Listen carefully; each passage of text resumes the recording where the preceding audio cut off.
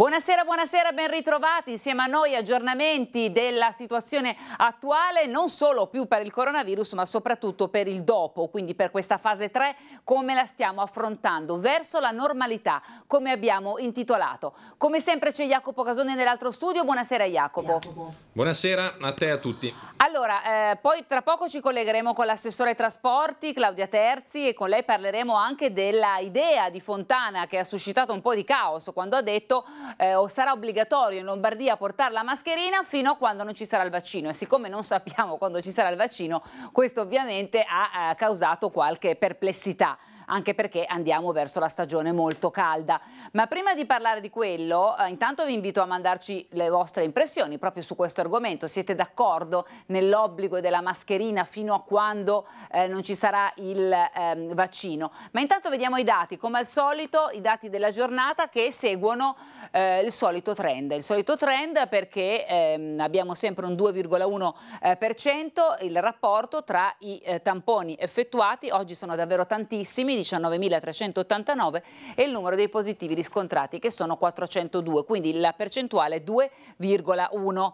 I deceduti sono 21, siamo nella linea degli ultimi quattro giorni, la terapia intensiva si svuota, oggi sono uscite 5 persone, i ricoverati però sono aumentati di 6, Milano provincia 99 casi positivi, Milano città 52 casi positivi. Quello che ci ha spiegato l'altra volta il professor Pregliasco, Jacopo, che vorrei ripetere perché secondo me è importante, è chi sono questi nuovi positivi. No, perché noi l'altra volta gli abbiamo chiesto, ma questi positivi sono persone che vanno al supermercato e si infettano? Eh, chi sono? Lui ci ha spiegato che fondamentalmente sono, la maggior parte, sono persone asintomatiche che fanno il test sierologico e che vengono fuori, eh, che viene fuori che hanno il eh, Covid. Eh, una buona parte sono questi. Poi ci sono ancora degli operatori sanitari, mi pare, no Jacopo? Ci sono anche quelli che adesso vengono sì. testati però anche quelli sono asintomatici perché se no se ne sarebbero accorti prima che erano ammalati.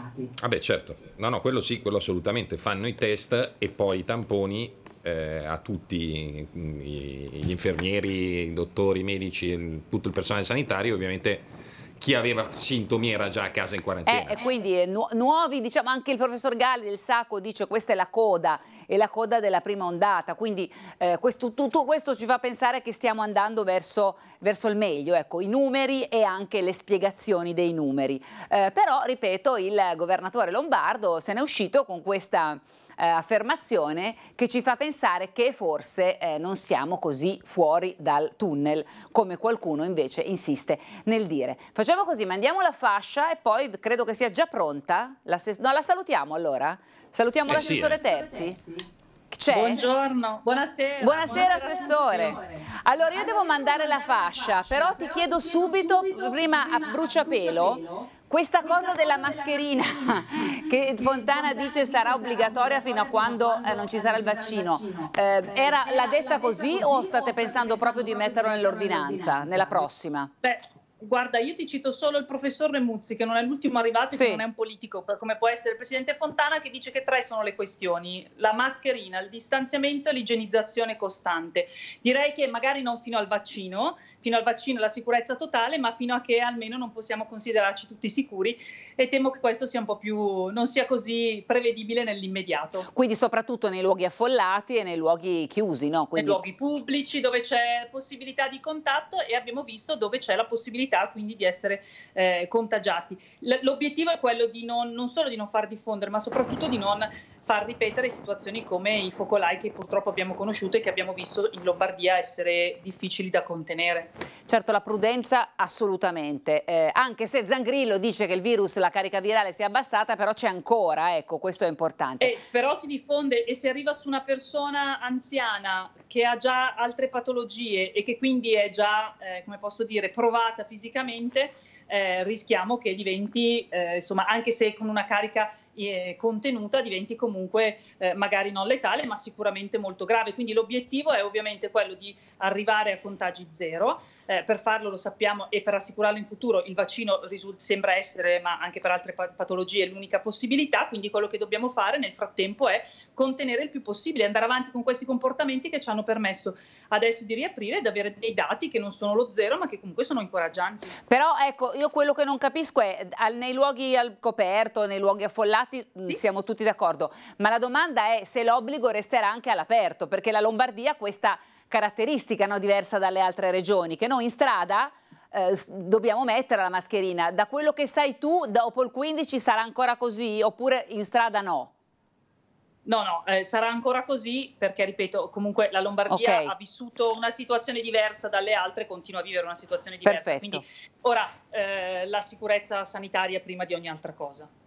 Va bene, io guarda, io sinceramente sono d'accordo, anche perché eh, più stiamo, diciamo alla gente di stare attenta, più sta attenta. Se, dire togliti la mascherina questione... potrebbe essere preso come un liberi tutti, almeno io la penso esatto, così. Esatto, è eh. una questione anche mentale, sì. cioè abbandoniamo la mascherina e allora ci pare che ormai si è superato tutto quando in realtà così non è. Certo, va bene, resta con noi due minuti di pubblicità sì. e poi parliamo di biciclette, di treni, di trasporti, di monopattini, tra poco. va bene.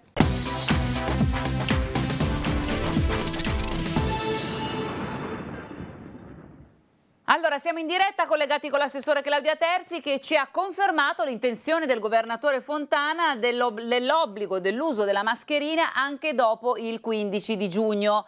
Quindi magari non fino a quando ci sarà il vaccino, ma in ogni caso fino a quando non saremo un po' più sicuri che questo contagio si è molto molto molto rallentato. Corretto, Assessore? Assolutamente sì. Quindi chi Quindi ha fatto chi le scorte di mascherine come me ha fatto bene, nel senso è che... stato prudente. Esatto, chi, quindi...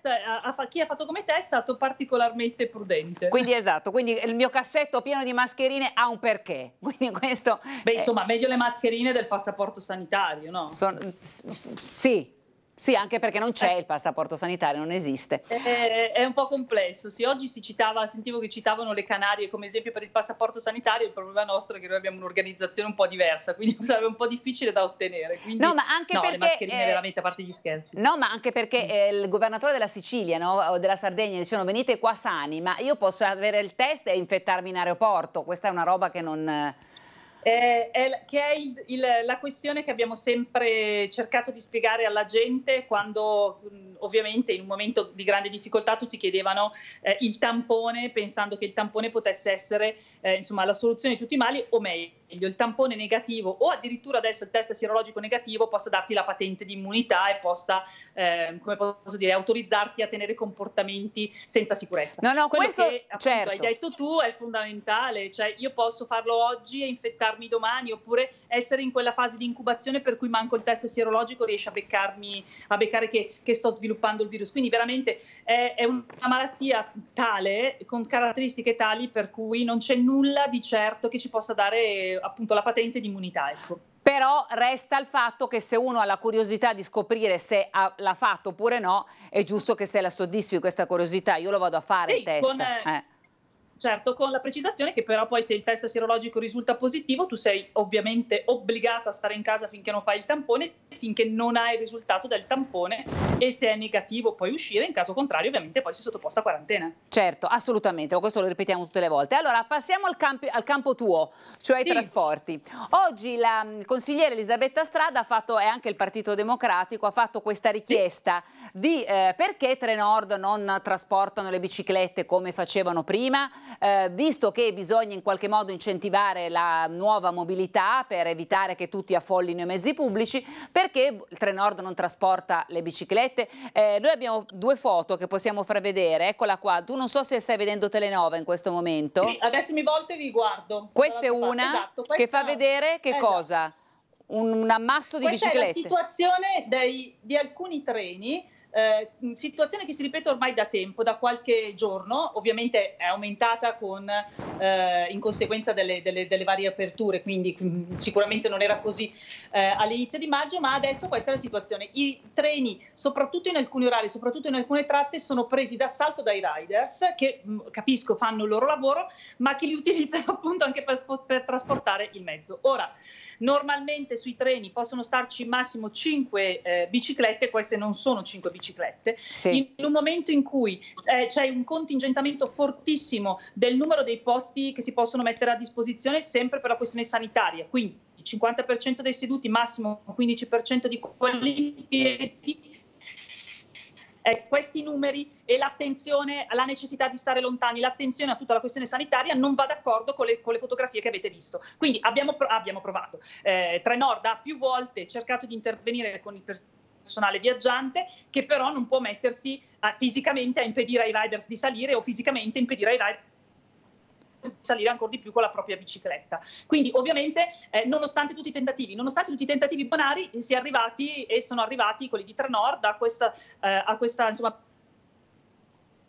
posizione piuttosto forte, lasciando la possibilità di portare le biciclette pieghevoli o quelle che occupano poco spazio, certo. ma non sicuramente una bicicletta come questa. Quindi non è una scelta che va contro l'idea di mobilità sostenibile. Io ricordo che i nuovi treni li abbiamo fatti apposta con, delle, con un numero importante di posti per eh, le biciclette, ma addirittura con i posti per allocare le biciclette. Sì, sì, le rastrelliere, certo. Cioè ci sono sui nuovi treni tu attaccherai la bicicletta mentre viaggi in treno, ricarichi la bici. Quindi la, la veramente l'attenzione alla mobilità sostenibile e alla mobilità mista, cioè il treno e l'ultimo il primo e ultimo miglio lo faccio con un mezzo come la bicicletta o il monopattino è assolutamente sempre presente. Il problema è che quando c'è una abuso, se chi ne abusa non la capisce con le buone, purtroppo poi ci vanno di mezzo anche quelli che invece eh, fino ad oggi si erano comportati magari più correttamente. Però queste foto, guardate che sono due, fo- due, so- due foto, ma non sono due foto prese, come posso dire, strumentalmente prese per giustificare la cosa. Questi atteggiamenti si ripetono sistematicamente da molti giorni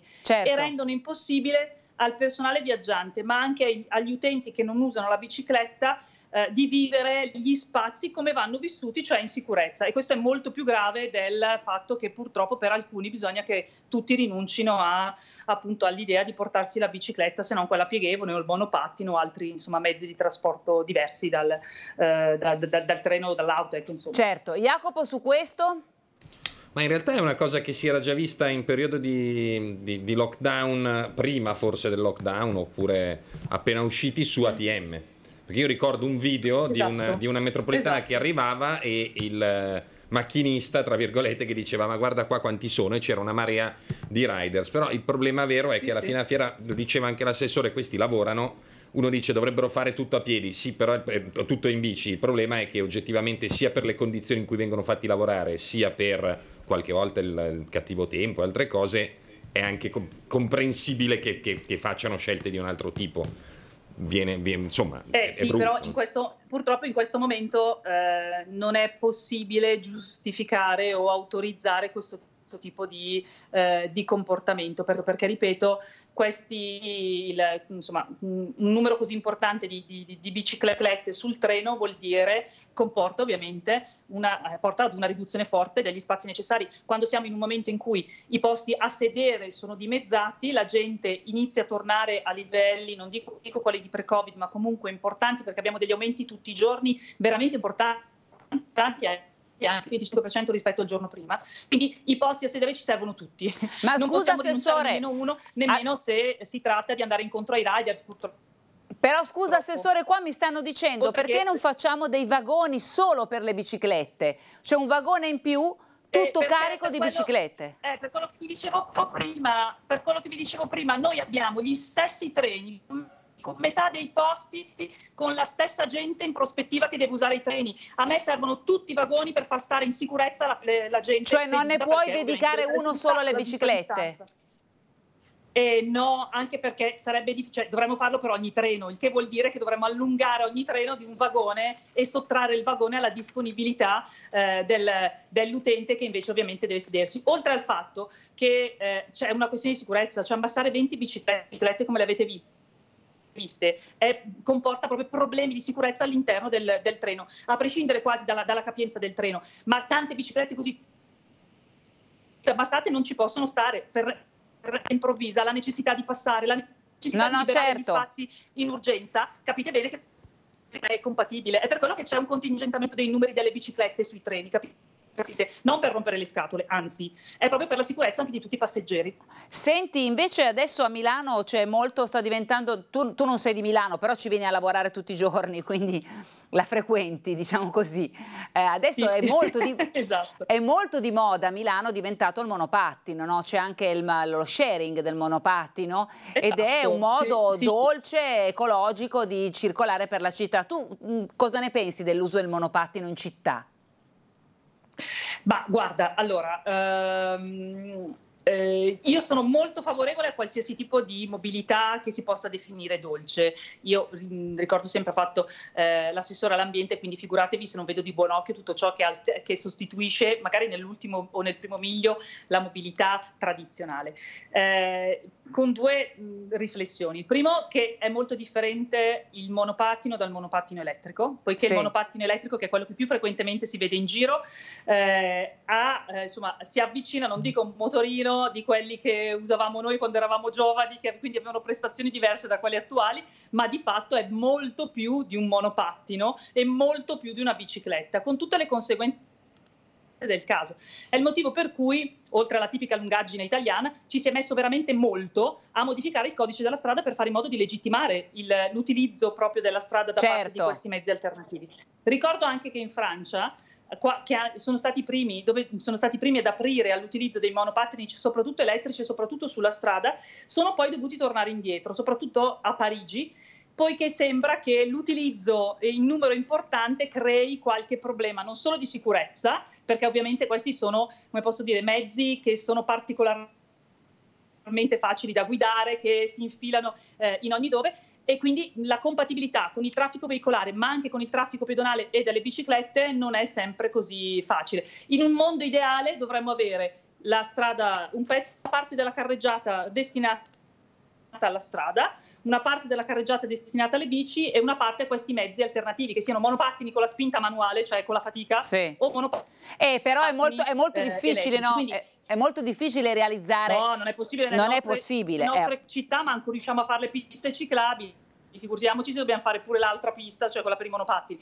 È difficile, ecco, bisogna fare attenzione. Io li vedo spesso e volentieri sulle piste ciclabili, e va bene, altre volte che stracciano e zigzagano tra le auto e altre volte addirittura sui marciapiedi. Quello sui marciapiedi è inaccettabile secondo me perché è veramente molto pericoloso per eh chi sì. guida il monopattino ma soprattutto per il pedone che si rivede arrivare insomma, ad una certa velocità perché i monopattini elettrici vanno e vanno veloci. Certo, Jacopo.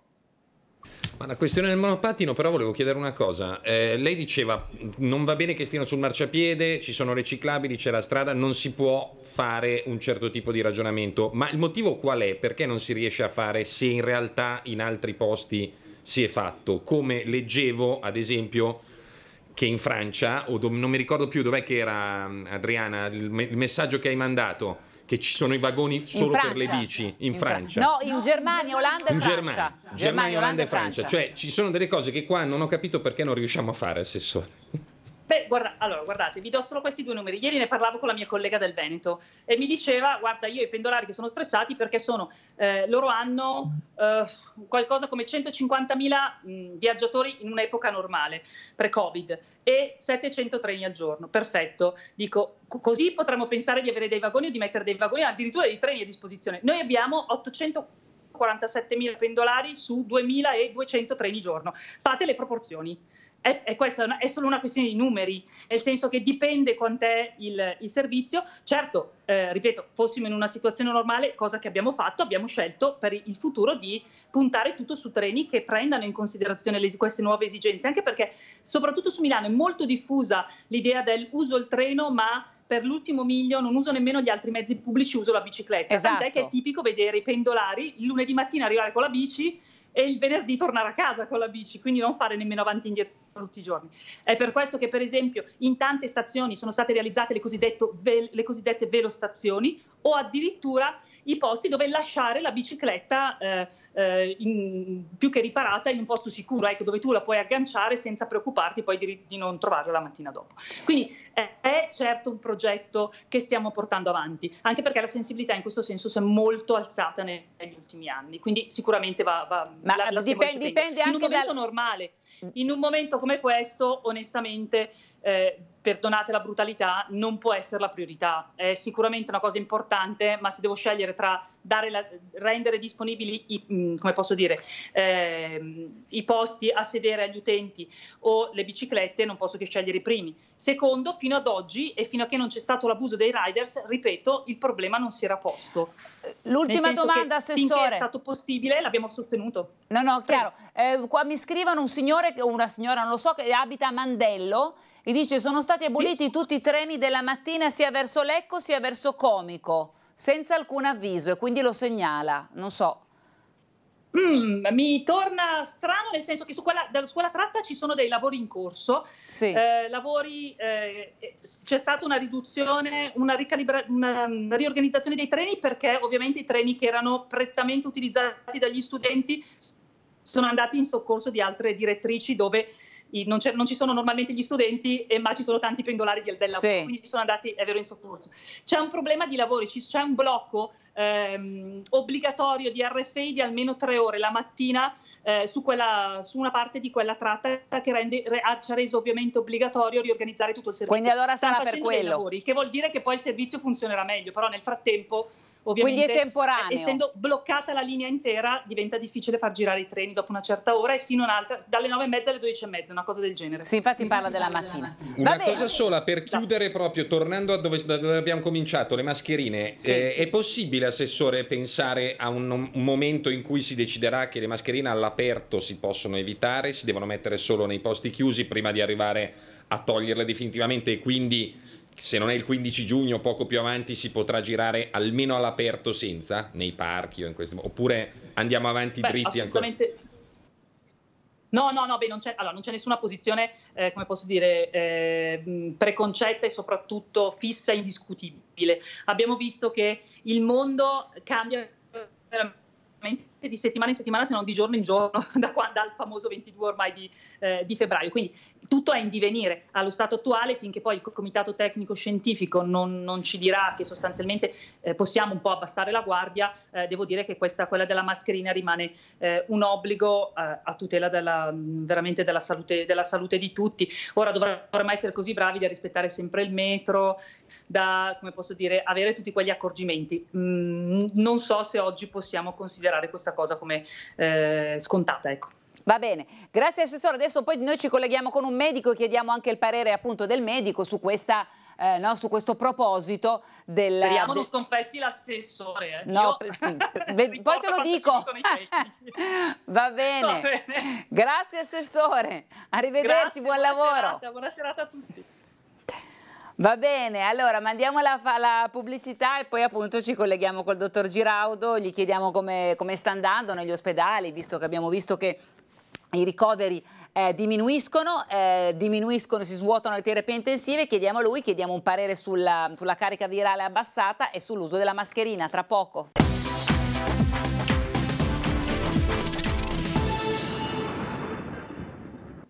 Rieccoci in diretta, siamo collegati col dottor Davide Giraudo, buonasera, urologo ma che si è occupato tanto di Covid, eh, lavora all'ospedale di Melegnano, buonasera, ben ritrovato. Buonasera. Allora, prima di chiederti del Covid come va, ti chiedo della mascherina, perché il governatore mm. Fontana mm. ha detto che vuole rendere, lasciare obbligatorio l'uso della mascherina anche all'aperto, anche dopo il 15 di giugno.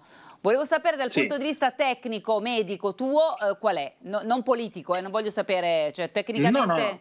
Beh, ma eh, penso che non ci siano molti dubbi dal punto di vista medico, cioè la protezione fondamentale. Eh, noi siamo convinti che sia stata una delle armi vincenti nel limitare la diffusione del contagio. Eh, sapete che eh, la mascherina chirurgica di fatto non ha una grossa valenza, nella, cioè, anzi quasi nulla sulla filtrazione in entrata, sì. però abbatte i droplets e quindi sicuramente se la indossano tutti eh, i possibili diciamo così infetti asintomatici o sintomatici sicuramente hanno una, un minor, una minor percentuale di diffondere la malattia. Poi noi in ospedale abbiamo usato le filtranti, quelle hanno anche una, una, valenza, un valore in infiltrazione, in entrata e quindi proteggono ancora di più. Diciamo che l'ottimale sarebbe che ci fossero le filtranti per tutti, no? Eh certo. Eh, io mh, mm, ho fatto anche un post qualche tempo fa su, su Facebook dicendo che eh, in realtà è un po' una fake news quella che la filtrante non possa essere utilizzata dalla popolazione eh, e solo dal, diciamo così, dai sanitari addestrati. La realtà è che c'è, non c'è grosso approvvigionamento, una grossa disponibilità di mascherine filtranti e quindi sono state riservate per l'utilizzo dei sanitari. Però l'ottimo sarebbe che tutti potessimo avere una Però scusami dottore, scusami, per però possiamo sì. dare un consiglio, siccome qualcuno, qualcuna di quelle filtranti, cioè l'FP2 o le K95, sì. qualcuno ce le abbiamo, secondo me sì. il consiglio di buon senso sarebbe che se vai in giro, se vai, che ne so, in ufficio dove hai sempre le stesse persone ti metti la chirurgica, se vai al supermercato in mezzo alla movida o in un ospedale a fare un esame ti metti la FP2. Io ragiono così. Sì, eh, io anche, eh, cioè se io, cioè, per dirti adesso questo weekend sono andato sul lago e all'aperto non è il caso di utilizzare una filtrante, ecco. oggettivamente è sprecata, ma eh, in un ambiente chiuso eh, sicuramente la filtrante ha un valore di protezione migliore. Dice, dicevano che la chirurgica è protettiva per gli altri e, e non per se stessi, sì. mentre invece la filtrante protegge anche se stessi. Certo. Sul fatto di continuare ad usarla io sono d'accordo perché finché non siamo a contagio zero e non lo siamo ancora, eh, è, un, è un, un dispositivo di, di, protezione per gli altri, per se stessi, secondo me fondamentale. Sul discorso del vaccino ti posso dire. Speriamo che arrivi presto, eh, perché, eh no, non, perché non, lo, sappiamo. sappiamo. E, quindi, e quindi, però il messaggio è importante. Ecco, Senti, eh... Sì, a proposito dei messaggi sulle mascherine, mi pare un po' delirante che ogni giorno ne esca uno diverso da quello precedente. Cioè, nel senso, adesso è arrivato Brusaferro che si è svegliato una mattina, se era lui, se non ricordo male era lui, che ha detto eh, però le, lava- le, le, mascherine chirurgiche evitiamo di usarle de- facendo troppe volte il lavaggio, la sanificazione, eccetera. Sì, poteva dirlo anche due mesi fa, perché tanto non è che sia cambiata la mascherina nel frattempo. Cioè, ogni volta ne salta fuori una diversa. La gente, secondo me, è un po' spaesata anche per quello. Cioè. Ma perché c'è stata carenza anche di mascherine chirurgiche, quindi prima non si poteva dire, ma... Eh è così, è la verità, perché in realtà non sono riutilizzabili quelle mascherine, quindi né le chirurgiche né le filtranti. Ma le, le filtranti stoffa, più di otto ore non, du- non durano. Quelle di quindi... stoffa, scusami dottore, quelle di stoffa, quelle definite di comunità, quelle lavabili, sì. quelle anche quelle non sono filtranti, però proteggono l'altro, no?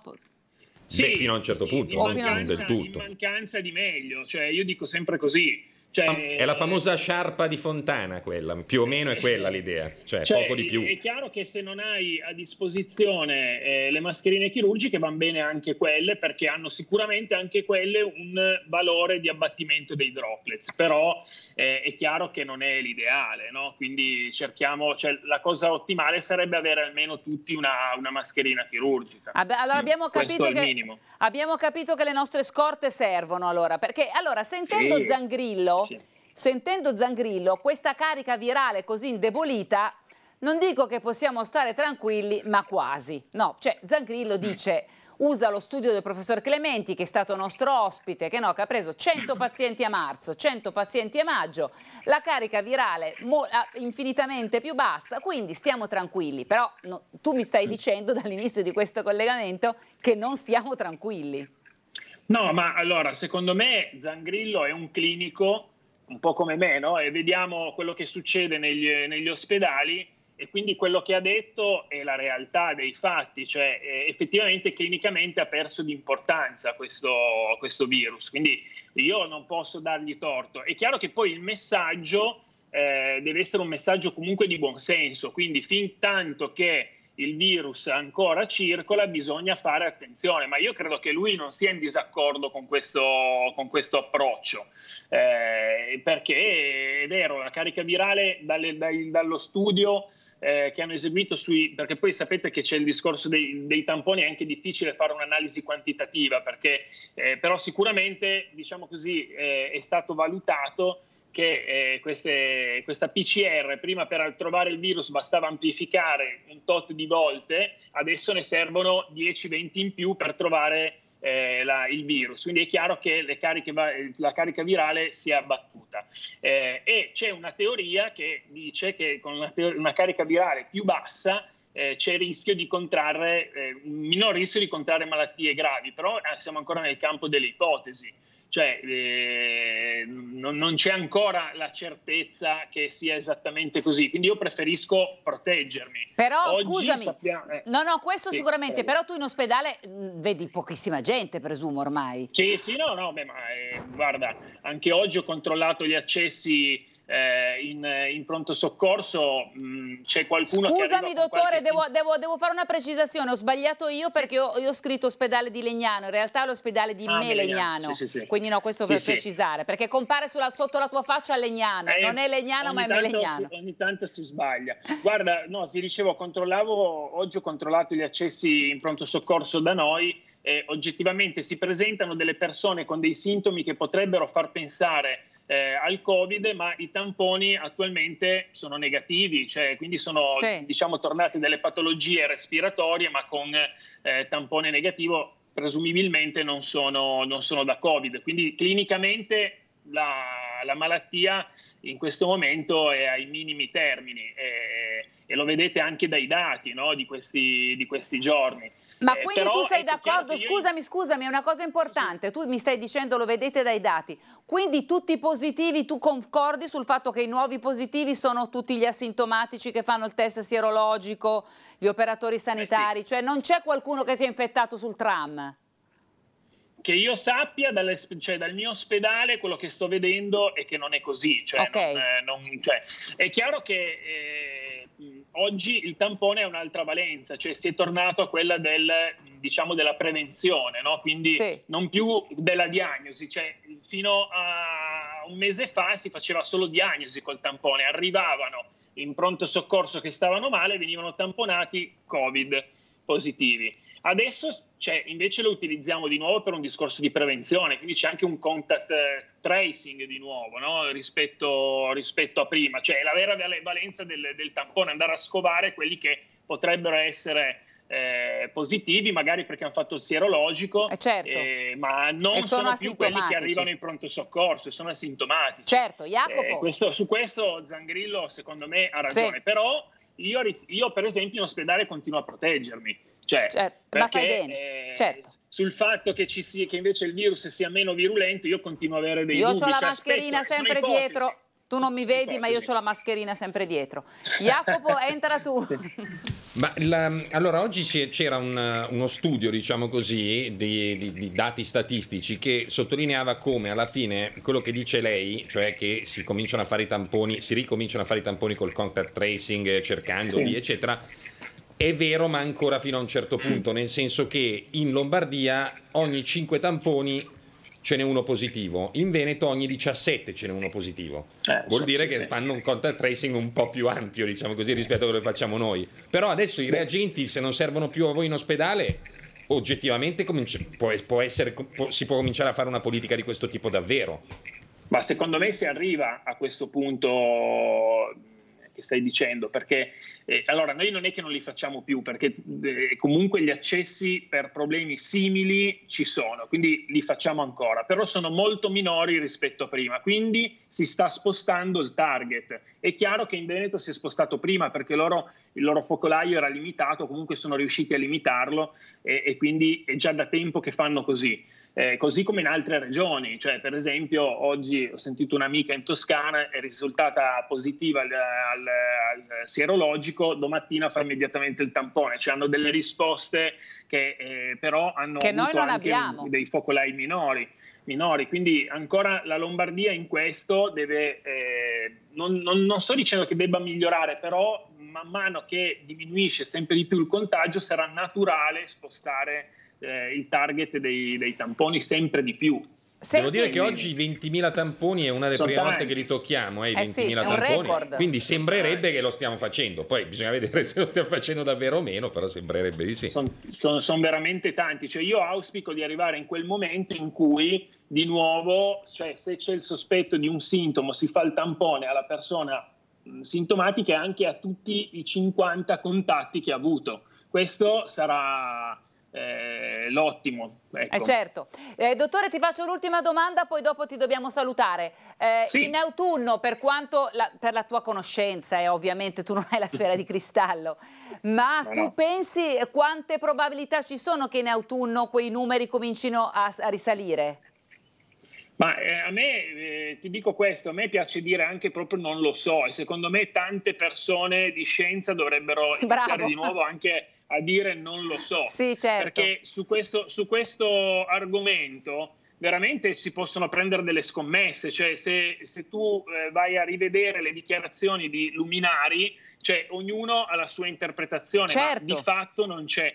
Io ti posso dire che sicuramente eh, ci sono degli studi oggi che dicono che l'estate sta indebolendo eh, il virus, ce n'è uno sul, sulla luce solare che è bellissimo dell'Università di Oxford in cui hanno simulato la luce eh, del Sole a una, latitudine, a una latitudine di 40 gradi e si è visto che in 6 minuti distrugge per il 90% inattiva il virus sulle superfici. Bellissimo. Quindi questo, eh, questo, è uno studio che ci fa pensare molto bene per l'estate. Certo. E sull'autunno possiamo solo dire che effettivamente in autunno le malattie respiratorie hanno di nuovo un picco quindi se il virus circola potrebbe ritornare di nuovo in forze per l'autunno, però ver- siamo veramente nel campo della sfera di cristallo, come dici tu. Certo. Io ti preferisco dire che non lo so. Bravo. Per fare una battuta è un po' come il pungidito, cioè tiri la moneta in alto o uno o l'altro, vedi.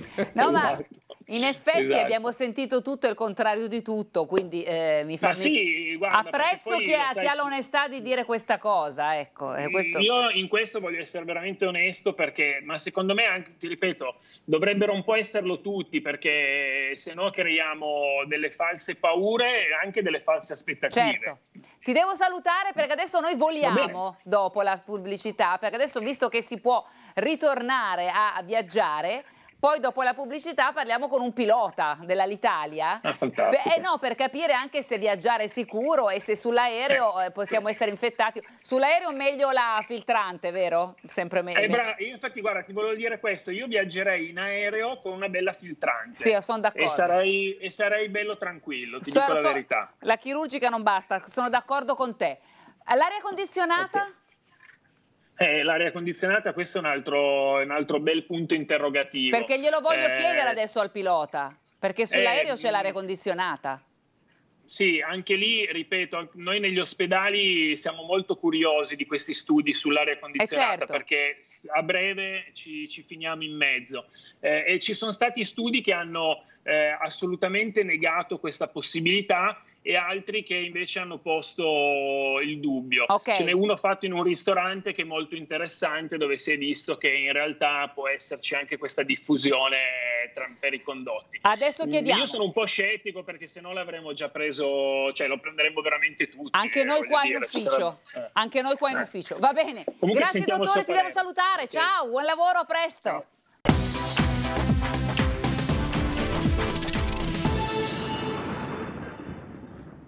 Allora, adesso voliamo, almeno voliamo virtualmente, perché siamo collegati con un pilota di linea che è Clemente Ingenito, che è anche consigliere tecnico dell'ANPAC. Buonasera Clemente. Buonasera, buonasera Adriana, buonasera a tutti voi. Allora, lui in questo momento eh, sei a Maranello, giusto? Quindi non sei qua in Lombardia, siamo distanti. Arrivato a casa. Ecco, ehm, allora è, con, la, con, l'apertura delle frontiere no? Dagli, si può arrivare in Italia e gli italiani possono andare all'estero. Finalmente si può tornare a volare. Com'è cambiata la situazione? Poi dopo, perché tu io so che hai anche trasportato degli italiani che si trovavano all'estero, li hai riportati in Italia. Quindi poi ci dici anche com'è andata in questo periodo del Covid.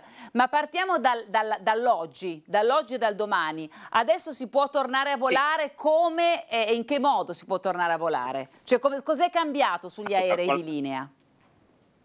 Ma guarda, con la, con la, fine della fase 2, eh, infatti è entrato in vigore appunto il nuovo decreto eh, che è valido fino al 14 di giugno, quindi diciamo si è un po' più eh, liberi adesso di andare in giro, no? senza l'obbligo della quarantena. Sì. Abbiamo in Italia 23 aeroporti aperti, hanno aperto anche eh, le isole per la continuità territoriale della Sardegna fino al 12 e quindi si sono un po' allentati, ecco, le, cioè, di tutto quello che era l'impatto iniziale.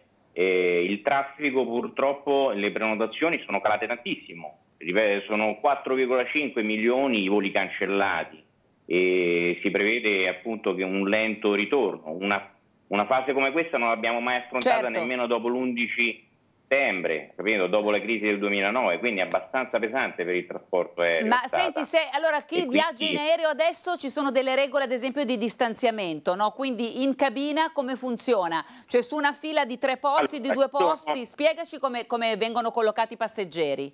Sì.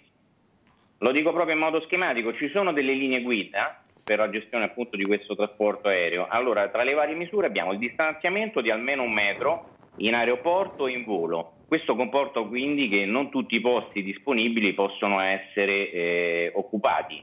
Cioè, eh, laddove eh, adesso è stato anche un po' all'inizio l'ENAC aveva previsto un metro e l'Alitalia aveva dato un'applicazione ferrea di questa, eh, di questa regola. Poi comunque l'ENAC, ah, che è l'ente nazionale di aviazione civile, ha un po' ammorbidito questa norma e adesso basta tenere vuoto il sedile in mezzo agli altri due. Sì, Quindi, però questo eh, per degli eh, estranei, ma se si viaggia nello stesso nucleo familiare bisogna mantenere lo stesso la distanza? No, assolutamente no, si può, se si è in- all'interno del nucleo familiare si può stare vicini, Ah, questa ecco. regola non va bene, Vabbè, può andare diciamo bypassata. Poi c'è la misurazione della temperatura dei passeggeri, Sì. e questa avviene sia all'ingresso dell'aerostazione e quindi se non hai il titolo di viaggio ad esempio non puoi entrare, sia quando scendi e quando, quando fuoriesci. La temperatura, ricordo, non deve essere superiore ai 37 gradi e mezzo. Sì. Quindi praticamente adesso siamo tutti al corrente. Poi c'è l'uso delle mascherine, Sì. obbligatorio sempre, durante tutto il volo con un ricambio ogni quattro ore, una mascherina nuova. Quindi se io vado a New York, se io vado a New York mi devo cambiare la mascherina ogni quattro ore, se faccio un volo intercontinentale, Eh, ad esempio. Assolutamente. E la compagnia aerea poi ne fornisce una data dalla protezione civile. E poi c'è l'intervento di sanificazione e disinfezio- disinfezione, eh, quindi la pulizia profonda di tutti i sedili e di tutte le superfici, quindi ogni, eh, ogni volo, ogni transito c'è tutta questa manovra. Quindi poi un'altra cosa, infine, c'è la IATA che prevede anche la necessità per tutti i governi di raccogliere i dati dei passeggeri. Sì. Quindi quando si entra, ovviamente questi vengono raccolti, raccolti oramai utilizzando i canali che sono già collaudati, però quando si esce anche c'è un passaggio verso la, eh, un controllo di polizia che prendono i dati di riferimento. Ecco, queste sono le cinque diciamo, regole che hanno cambiato un po' la vita, l'atmosfera del passeggero e da come lo era precedentemente. Certo, senti- Poi adesso vediamo magari prossimamente. Eh, prima, prima di te c'era collegato con noi un medico che è esperto di coronavirus e parlavamo dell'aria condizionata, no? che ci sono un sacco di studi sull'aria condizionata perché c'è qualcuno che dice che l'aria condizionata può veicolare il virus e altri che dicono di no se ci sono dei buoni filtri. Come funziona l'aria condizionata sugli aerei? Allora, l'aria condizionata sugli aerei eh, funziona che attualmente noi la mettiamo con un, mass- un flusso massimo e le bocchette sopra passeggero aperte e, eh, in modo tale che fu- eh, funzionano un po' come schermo tra un passeggero e l'altro. Ovvi- I filtri degli aeroplani sono i filtri, quelli famosi EPA, che sono anche presenti nelle sale operatorie, quindi diciamo hanno Sì. filtro, eh, filtrano meglio e sono anche le compagnie poi, a seconda insomma della manutenzione, dovrebbero essere cambiate in modo più saltuario, diciamo più veloce. E questo comporta eh, quindi anche un consumo maggiore di carburante. Comunque, al di là di tutto, eh, l'aria condizionata a bordo degli aeroplani è regolata dal cockpit, quindi da noi, e, ma- e mettiamo sempre il flusso adesso al massimo Ok. e non viene mai tolta. Tra l'altro la accendiamo mezz'ora prima dell'arrivo del passeggero, quindi diciamo trovo una cabina abbastanza Fresca. pulita anche pulita. sotto l'aspetto. Sì. Senti, invece una- eh, sto pensando che ad esempio il personale medico viene testato, no? viene stato fatto il test sierologico, adesso poco alla volta, almeno qui in Lombardia, non so in Emilia Romagna, e poi vengono fatti i tamponi a tutte le persone, a tutti i medici sanitari che- a cui riscontrano gli anticorpi. Per i personali aerei vengono fatti dei controlli, test sierologici oppure no? Solo in caso di sintomi? Sì, solamente in caso di sintomi o solamente in caso c'è stato un passeggero che ha riportato questa criticità. Ecco. Eh, fino ad oggi io ho fatto la, la mia solita visita che io la faccio ogni sei mesi, e però a parte questo non, non, ci, non, non ci, sottopongono. Non diciamo, vi sottopongono test, al test. Né di tampone né serologico. Ok, Jacopo? Come test no. Volevo chiedere una cosa, perché eh, qua in Lombardia avevano chiuso Beh. due aeroporti, Orio e Linate, ed era rimasto aperto Malpensa. Riapre Orio, ma non riaprivano ancora le frontiere. Primo volo che arriva, ore 6.50 del mattino, arriva da Sofia, Bulgaria. E io lì mi sono chiesto, ma perché? Cioè, nel senso, se è chiusa la frontiera, chi volava durante il Covid? E questa è una delle domande che mi ero posto io.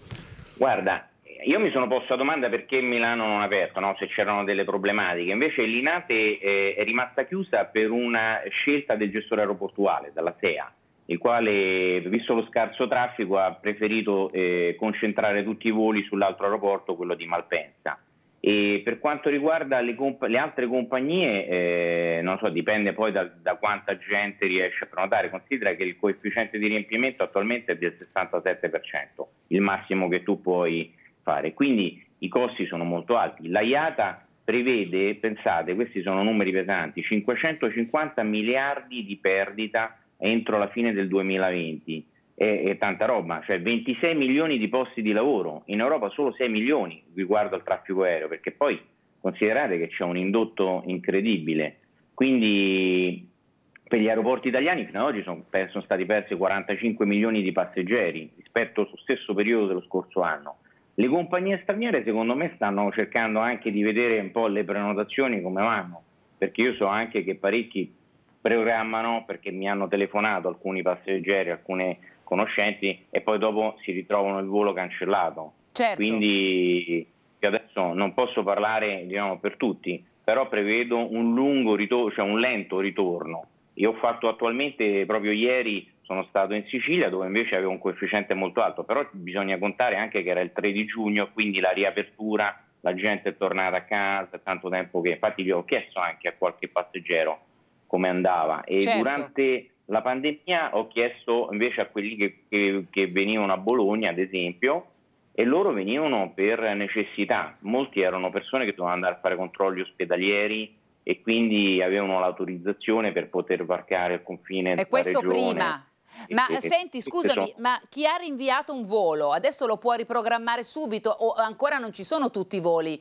eh, programmati come prima perché sono meno, no? Cioè se io prima avevo deciso di andare alle Isole Eolie per, e poi ho dovuto cancellare per la pandemia, eh, quando si tornerà alla normalità, quindi quando si potranno riprogrammare i voli come prima? Quando si tornerà alla normalità eh, non lo so, attualmente eh, all'Italia opera con 30 rotte su 25 aeroporti, di cui 15 in Italia e 10 all'estero.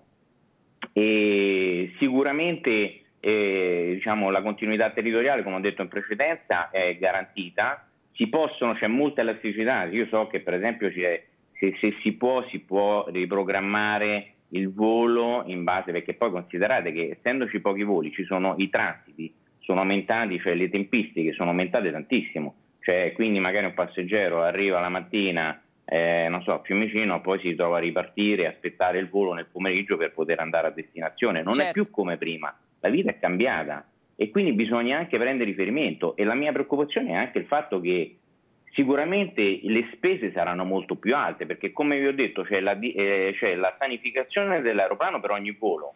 Io non penso che usufruiranno le stesse procedure di una volta che da una certo. parte li vedevi scendere e da un'altra salire c'è per forza una tempistica e un servizio che bisogna dare e questo sicuramente costerà. E Adesso io non lo so. Costerà su noi passeggeri. Quindi questo vuol dire che i biglietti aumenteranno di parecchio.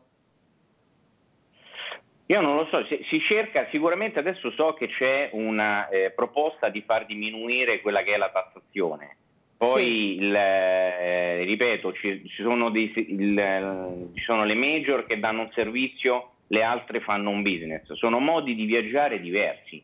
Quindi laddove le low cost, parliamo delle low cost, hanno un gestore aeroportuale che gli garantisce un ritorno economico, loro faranno il volo. Mentre, io ripeto, una major, come nostra, nel nostro caso in Italia abbiamo questa compagnia di bandiera tanto criticata e tutto quanto, ma ha sempre garantito un servizio anche se i voli erano ovviamente in deficit. Sì. Quindi sono due, due, cose un po' diverse. Certo. Però dobbiamo vedere adesso piano piano si riparte tutto.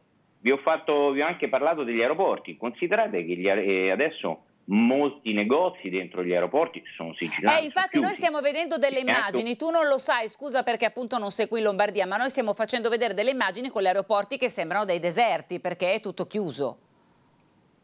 Infatti sono delle immagini un po' che ti danno l'angoscia, no? perché vedi tutto sigillato, tutto incelofanato e quindi quelli e i, i, parcheggi vuoti, che non, non, si è mai visto un parcheggio vuoto in aeroporto. Quindi eh, ti, ti, dà un po' l'idea appunto che non c'è il giro economico che, c'è, che c'era, che prima. prima. E prima io mi auguro che adesso con l'estate la nostra eh, cara Italia appunto attivi un po' quello che è la, la volontà degli altri di vedere il bel paese.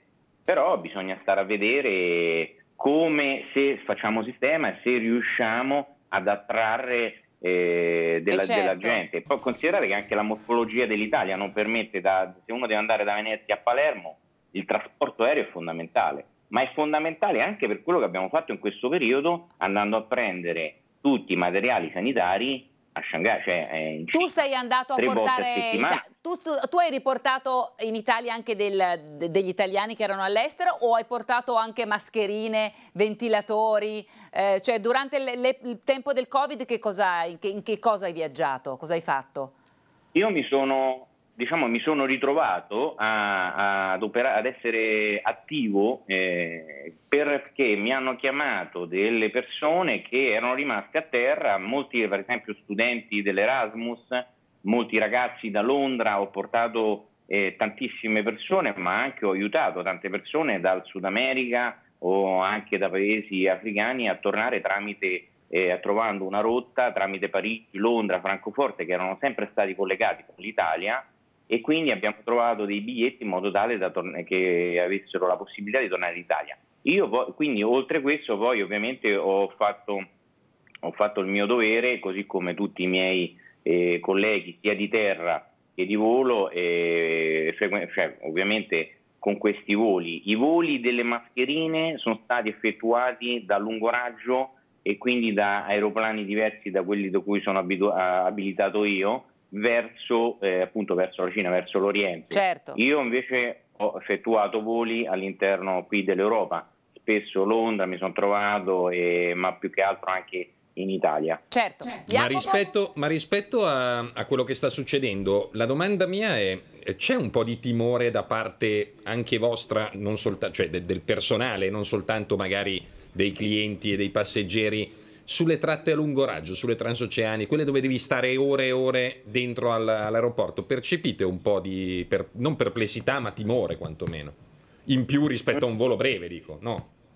No, questo no, perché è molto soggettiva la cosa, devo dire la verità, perché io ho tanti, cioè, tantissimi amici con cui vado giù a Roma e, e loro fanno, ovviamente effettuano questi, questi voli. Attualmente operiamo solamente alla New York, sapete no? che poi eh, adesso abbiamo, dobbiamo rivedere come, eh, come, riprende il traffico internazionale.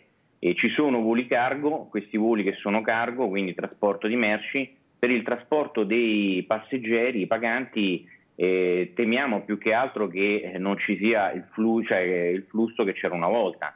Cioè, ripeto, 4,5 milioni di voli cancellati è eh tanta certo. roba, eh, quindi eh, io non lo so, l'Italia è sempre stata il paese che ha tratto il turismo e dobbiamo però far sistema perché da soli eh, sicuramente eh, non andiamo da nessuna parte, sperando ovviamente, poi considerate che da noi sta avvenendo appunto l'estate, mentre sud, nella parte sud eh, come sentite no? in Sud America eh, stanno aumentando i casi. Quindi, eh, infatti, sì, no, ascolta, ascolta, ti volevo molte... proprio chiedere questo, mi hai anticipato la domanda, dove l'epidemia è in ritardo, quindi dove c'è adesso, che tu sappia stanno già organizzando dei rientri per, per, per gli italiani, per, per, tornare, non so, se c'è un italiano in Brasile dove eh, può tornare o ancora no? Cioè come funziona? Allora, io considero sempre, allora, innanzitutto noi abbiamo effettuato, dei, sono stati effettuati dei voli grazie eh, all'interessamento della Farnesina con i consolati locali. Io personalmente ho parlato con gente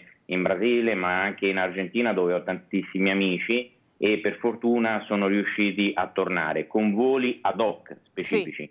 È opportuno verificare sempre e lo dico e ne approfitto Adriana del tuo canale per dire che cercate sempre di eh, verificare sul sito della Farnesina e quindi viaggiare sicuri perché ci sono questi voli programmati e poi uno deve contattarli, mettersi in lista perché il consolato coordina come poi dopo il rientro. Io certo. so che ce ne sono, mi hanno, mi hanno contattato anche via social, hanno fatto di tutto perché ci sono delle persone un po' disperate eh, che ovviamente sai devi pagare l'albergo, devi stare certo. lì.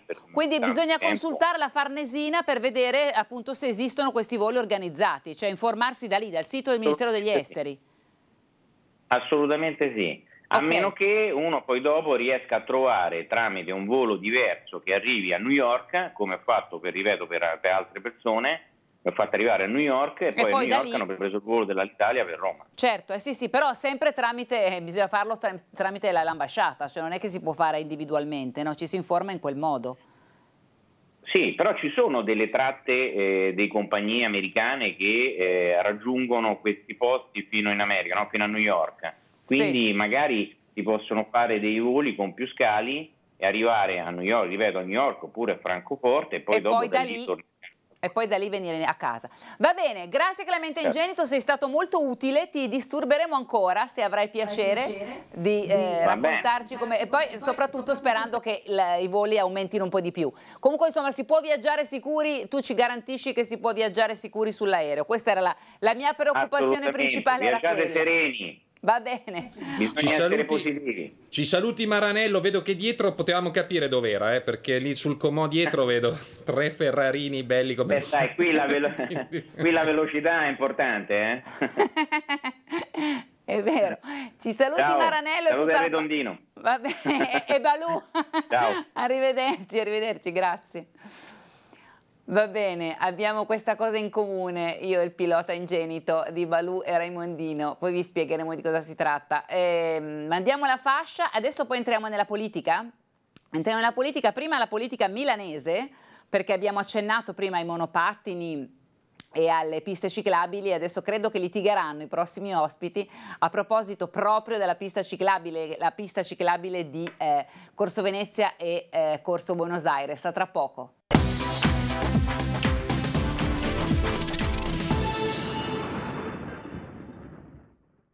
Vedo, non vedo se sono in onda. Ecco, adesso sono in onda. Rieccoci in diretta. Allora, durante la pubblicità ho visto capovolgersi De Pasquale col collegamento Skype, diventare verticale, poi orizzontale, fare il giro su se stesso. Adesso sei giusto. Fabrizio De Pasquale, Forza Italia, Filippo Barberis, Partito Democratico. Abbiamo i due capogruppo, mi rendo conto adesso che siete i due capigruppo, giusto? Quindi sono molto orgogliosa di avere voi due ospiti. Per parla- allora, però De Pasquale in questo momento non è a Milano, è a, in Liguria. Prima ci ha fatto vedere una roba meravigliosa del tramonto, no? sul Golfo. Sei sulla riviera di eh, Ponente, no, di Levante, no, Camogli. All'inizio.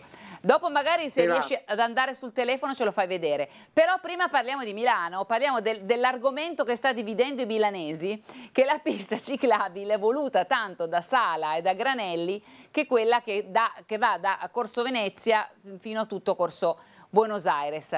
Allora, noi ne abbiamo parlato anche con l'assessore Granelli. Perché De Pasquale non vi piace questa pista ciclabile? No, allora, premesso, io vado spesso in bici e non ho nulla contro le, le bici. La questione che noi solleviamo è che in una città come Milano, la sede del Politecnico, la città dell'architettura, non è possibile eh, che un assessore si svegli e faccia una ciclabile senza fare un progetto.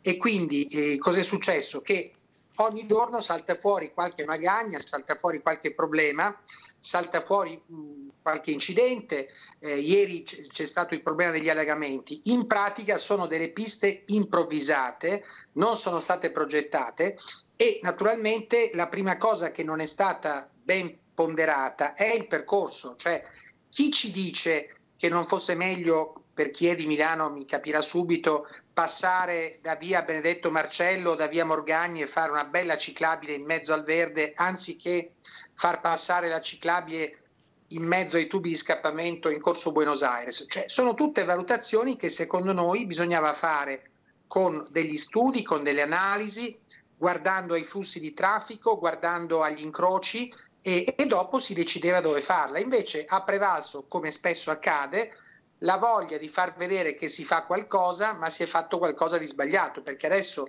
abbiamo un traffico congestionato, abbiamo meno posti auto, abbiamo i commercianti che si lamentano perché comunque eh, ne- nella strada è impossibile parcheggiare e abbiamo anche avuto i primi incidenti.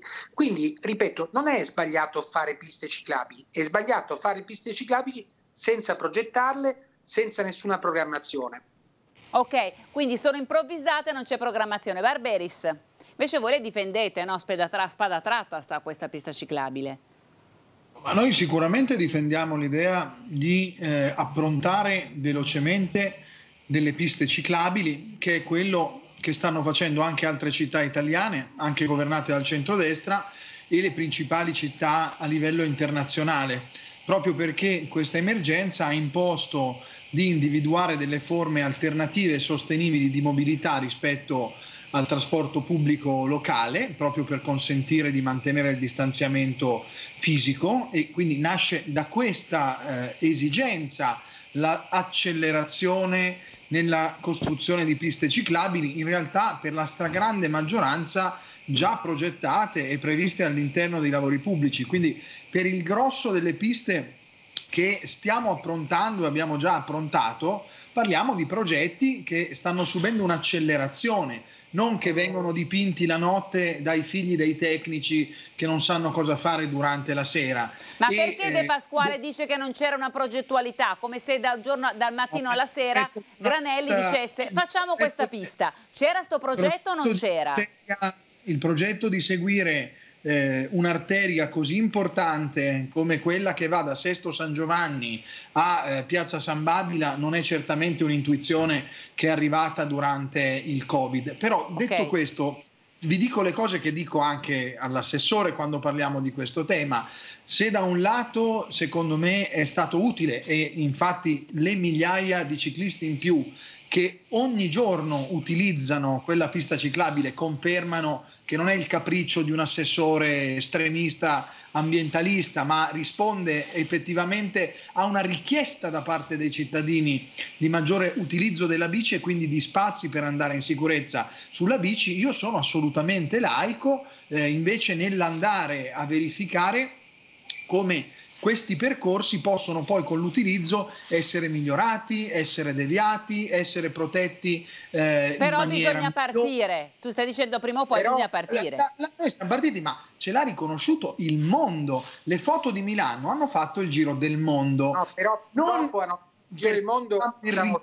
L'hanno fatto perché eravamo tra i primi a reagire. Ok, aspetta, fammi sentire De Pasquale, poi ho due domande. Vai Fabrizio, poi due domande. No, fatto il giro del mondo perché sono immagini ridicole, cioè tutto il mondo ha visto che praticamente è stato collocato il posto per i disabili con a sinistra eh, la corsia, la careggiata delle auto e a destra quella delle bici. Quindi il povero disabile, quando deve fare l'operazione di salire o scendere dall'auto, è veramente a rischio di essere arrotato e quindi già ci sono state proteste per quel motivo. Poi si sono subito verificati degli incidenti perché in molti punti le auto non vedono eh, i ciclisti che stanno scorrendo lungo la ciclabile. Sì. Poi voglio ancora ricordare che nottetempo l'assessore Granelli è dovuto intervenire e far cambiare molta segnaletica, ha dovuto far, far cambiare con i pennelli eh, diciamo, alcuni pezzi di pista perché c'erano dei punti mh, precisamente in piazza Oberdan dove si creava un grosso problema di pericolo. Allora la mia domanda è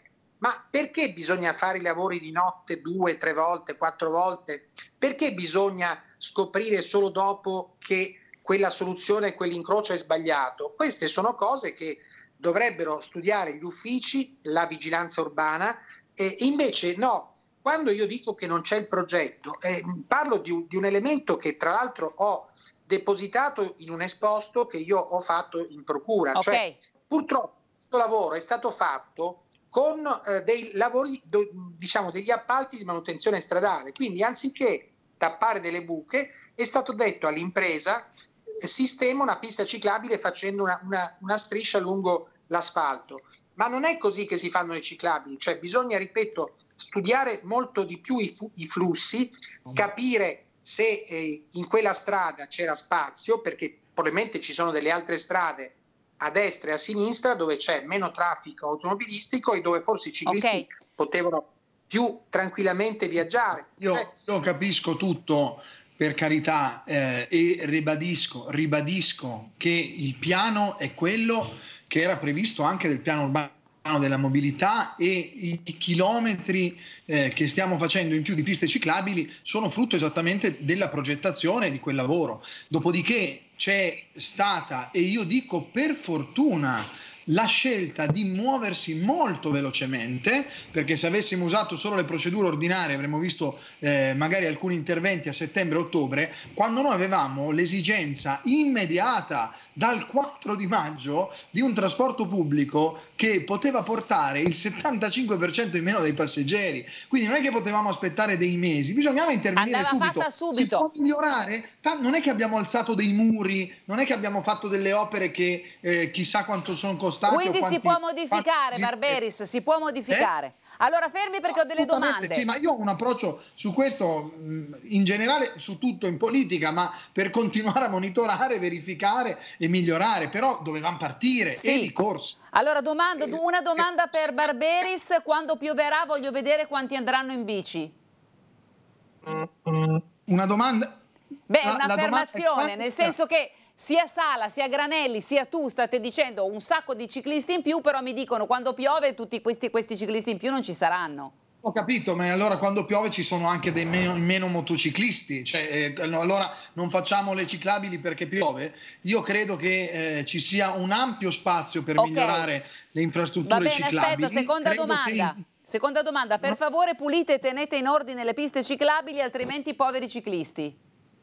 Sono d'accordissimo, eh, una delle polemiche che viene sollevata è perché si fanno i parcheggi a sinistra delle piste ciclabili, la risposta in realtà è che proprio nel momento in cui la pista è dipinta e non protetta eh, dalle infrastrutture come possono essere dei marciapiedi rialzati, eh, era, era ovvio che la sinergia era tra il parcheggio e la ciclabile in modo che la ciclabile fosse protetta dal parcheggio. Ok, domanda per Fabrizio De Pasquale, se eh, in caso di, di cambio di giunta, se andate a governare Milano, cortesemente toglierete area B? Assolutamente sì, ma la, la, cosa fantastica è che Aria B l'ha già tolta Sala, cioè eh, durante questa emergenza che è stata drammatica eh, ci sono state alcune cose positive. La più importante di tutte è stata che si è dimostrato come togliendo tutte le auto da Milano eh, non c'è stata quella diminuzione dello smog che si pensava. In realtà, diciamo, probabilmente lo smog all'interno di tutta la pianura padana è legato ad altri fattori, il riscaldamento, il fatto che ci sia poco circolo di, di aria. Quindi eh, una delle cose poche positive di questa emergenza è che comunque il sindaco ha cancellato prima area C e poi area B e per quanto ci riguarda, eh, se noi dovessimo vincere alle elezioni del 2021, la prima cosa che facciamo è di cancellare area B, di cambiare completamente area C e soprattutto di togliere queste ciclabili quando sono okay. fatte male. Perché non è l'unica pista, c'è anche quella che va lungo Viale Monterosa che quattro anni che stanno cercando di, di finirla. Allora c'è il Poi... telespettatore che dice grande De Pasquale ha già il mio voto. Allora facciamo così, di certo per ora c'è solo che il 15 giugno, da quello che ho capito io, tornano sia area C sia area B. Giusto Barberis? No, solo area C. No, solo Area C. Ah, solo, solo Area C. C. Fantastico, ok, già non avevo capito. Mandiamo la fascia, che... mandiamo la fascia e poi ci sarà Jacopo Casoni okay. che vi fa un po' di domande. A tra poco.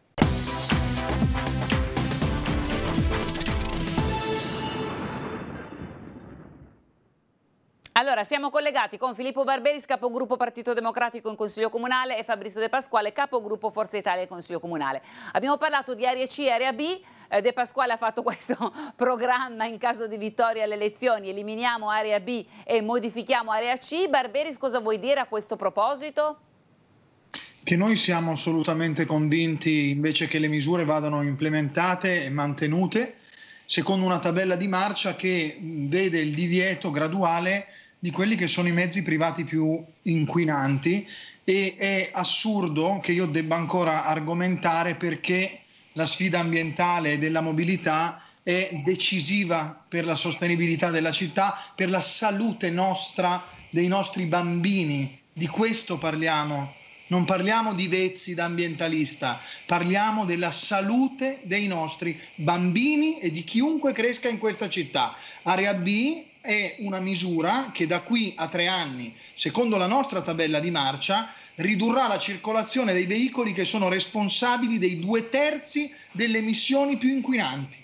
Di questo parliamo, di disintossicarci, disintossicarci e contemporaneamente nuova linea di metro, potenziare i mezzi di superficie nelle periferie, potenziare lo sharing, potenziare i ciclabili, quindi non è una cosa che viene fatta in soluzione neutra, è un processo, è un processo. E credo che sia un, è un lavoro, mi dispiace, non saremo d'accordo con De Pasquale, ma forse questa è una delle ragioni per cui uno sceglie di votare a destra o a sinistra, l'attenzione ai temi dell'ambiente, alla qualità dell'aria come una premessa fondamentale per la qualità della vita, per l'attrattività della città a livello internazionale, non solo a livello locale. Dieci anni che governate, e dieci anni che governate e ci sono ancora oggi ci sono le giornate in cui si supera eh, la soglia dei polveri. Si sono però ridotte del 40% Fabrizio queste giornate. Si sono ridotte del 40% queste giornate. Basta che ci sia un periodo in cui non piove, non c'è vento e si ritorna a quella roba lì. Quello però c'è stato.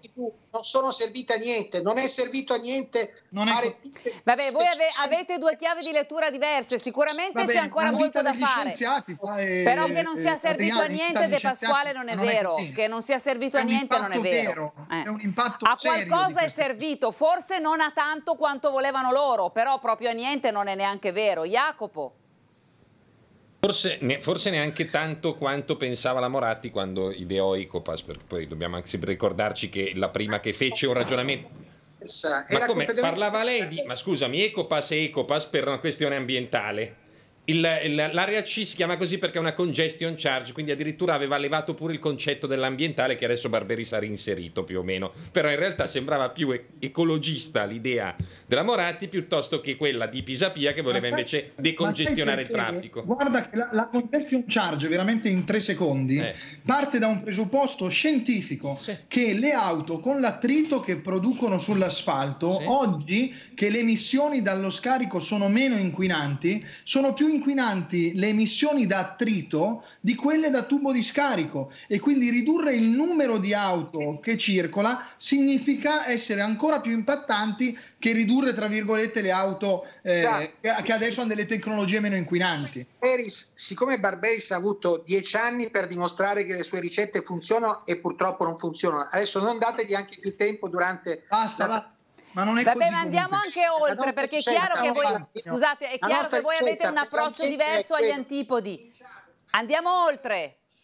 Sul riscaldamento, perché fino adesso sul riscaldamento non si è fatto nulla. Ma non La è vero. Ah, è che le misure prese da questa amministrazione non servono a niente, perché Milano è una città basata sul lavoro, sulle imprese, sulla gente che si deve muovere, quindi non li si e può obbligare. Sui condomini che non vogliono cambiare le caldaie, ecco. Diciamo. in questo momento, secondo lo studio fatto peraltro dall'assessore Granelli, cioè secondo il piano urbano della mobilità, solo il 6% degli spostamenti dei cittadini milanesi avviene in bici, perché è evidente che non tutti possono usare la bici, gli anziani non la possono usare, le persone che hanno problemi non la possono usare, quando piove non la può usare nessuno, se devi fare cinque appuntamenti in città non puoi usarla. Quindi bisogna essere molto più pragmatici, fare in modo che il traffico sia più fluido, che non ci siano dei continui restringimenti di carreggiata e naturalmente fare molto meglio di quello che avete fatto voi per il trasporto pubblico,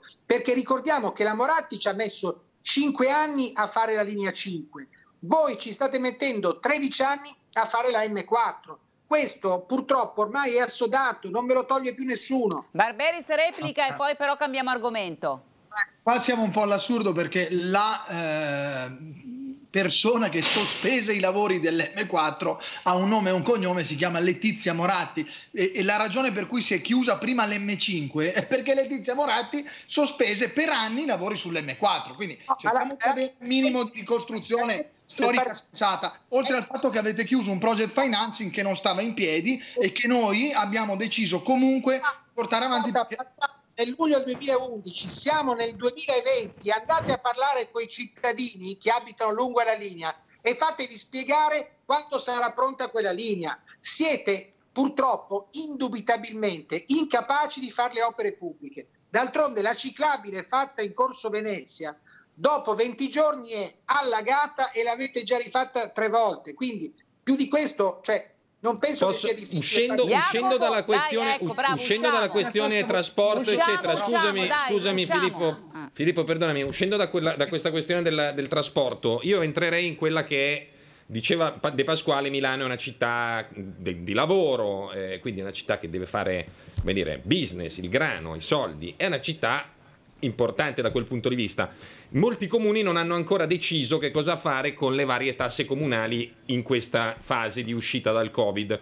Ci sono alcuni che non hanno ancora neanche scritto una riga su che cosa fare. Milano mi pare Barberis che già abbia deciso quantomeno sulla Tari come agire. Ci sono la Tari e l'Imu che scadono fra 11 giorni. Avete un'idea precisa di cosa fare, giusto? Ma, eh, Intanto non scadono tra 11 giorni perché, Perché le abbiamo rinviato le scadenze a settembre. hanno rinviate, ok. Perché noi abbiamo già deciso di eh, cancellare la COSAP, che è la tassa sull'occupazione del suolo pubblico, sia per le licenze in essere che per le nuove licenze, che saranno gratuite, dal primo di marzo, quindi retroattivamente, fino al 31 di ottobre che è una delle misure che abbiamo preso tra i primi in Italia e che eh, in qualche modo serve anche a compensare le misure di distanziamento sociale che impongono una riduzione di coperti all'interno di tantissimi esercizi, in particolare bar e ristoranti ed è anche una misura importante dal punto di vista dei costi.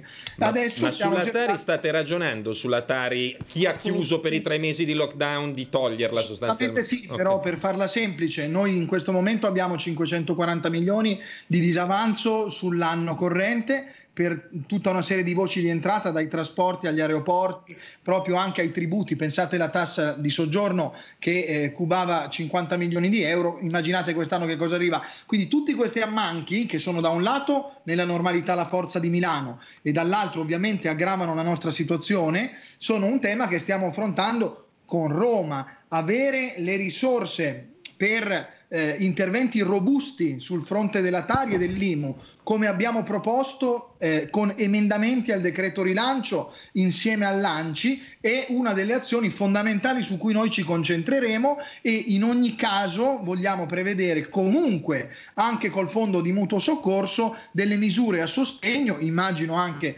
lavoreremo su questo insieme anche alle opposizioni, sul fronte commercio, artigianato e turismo.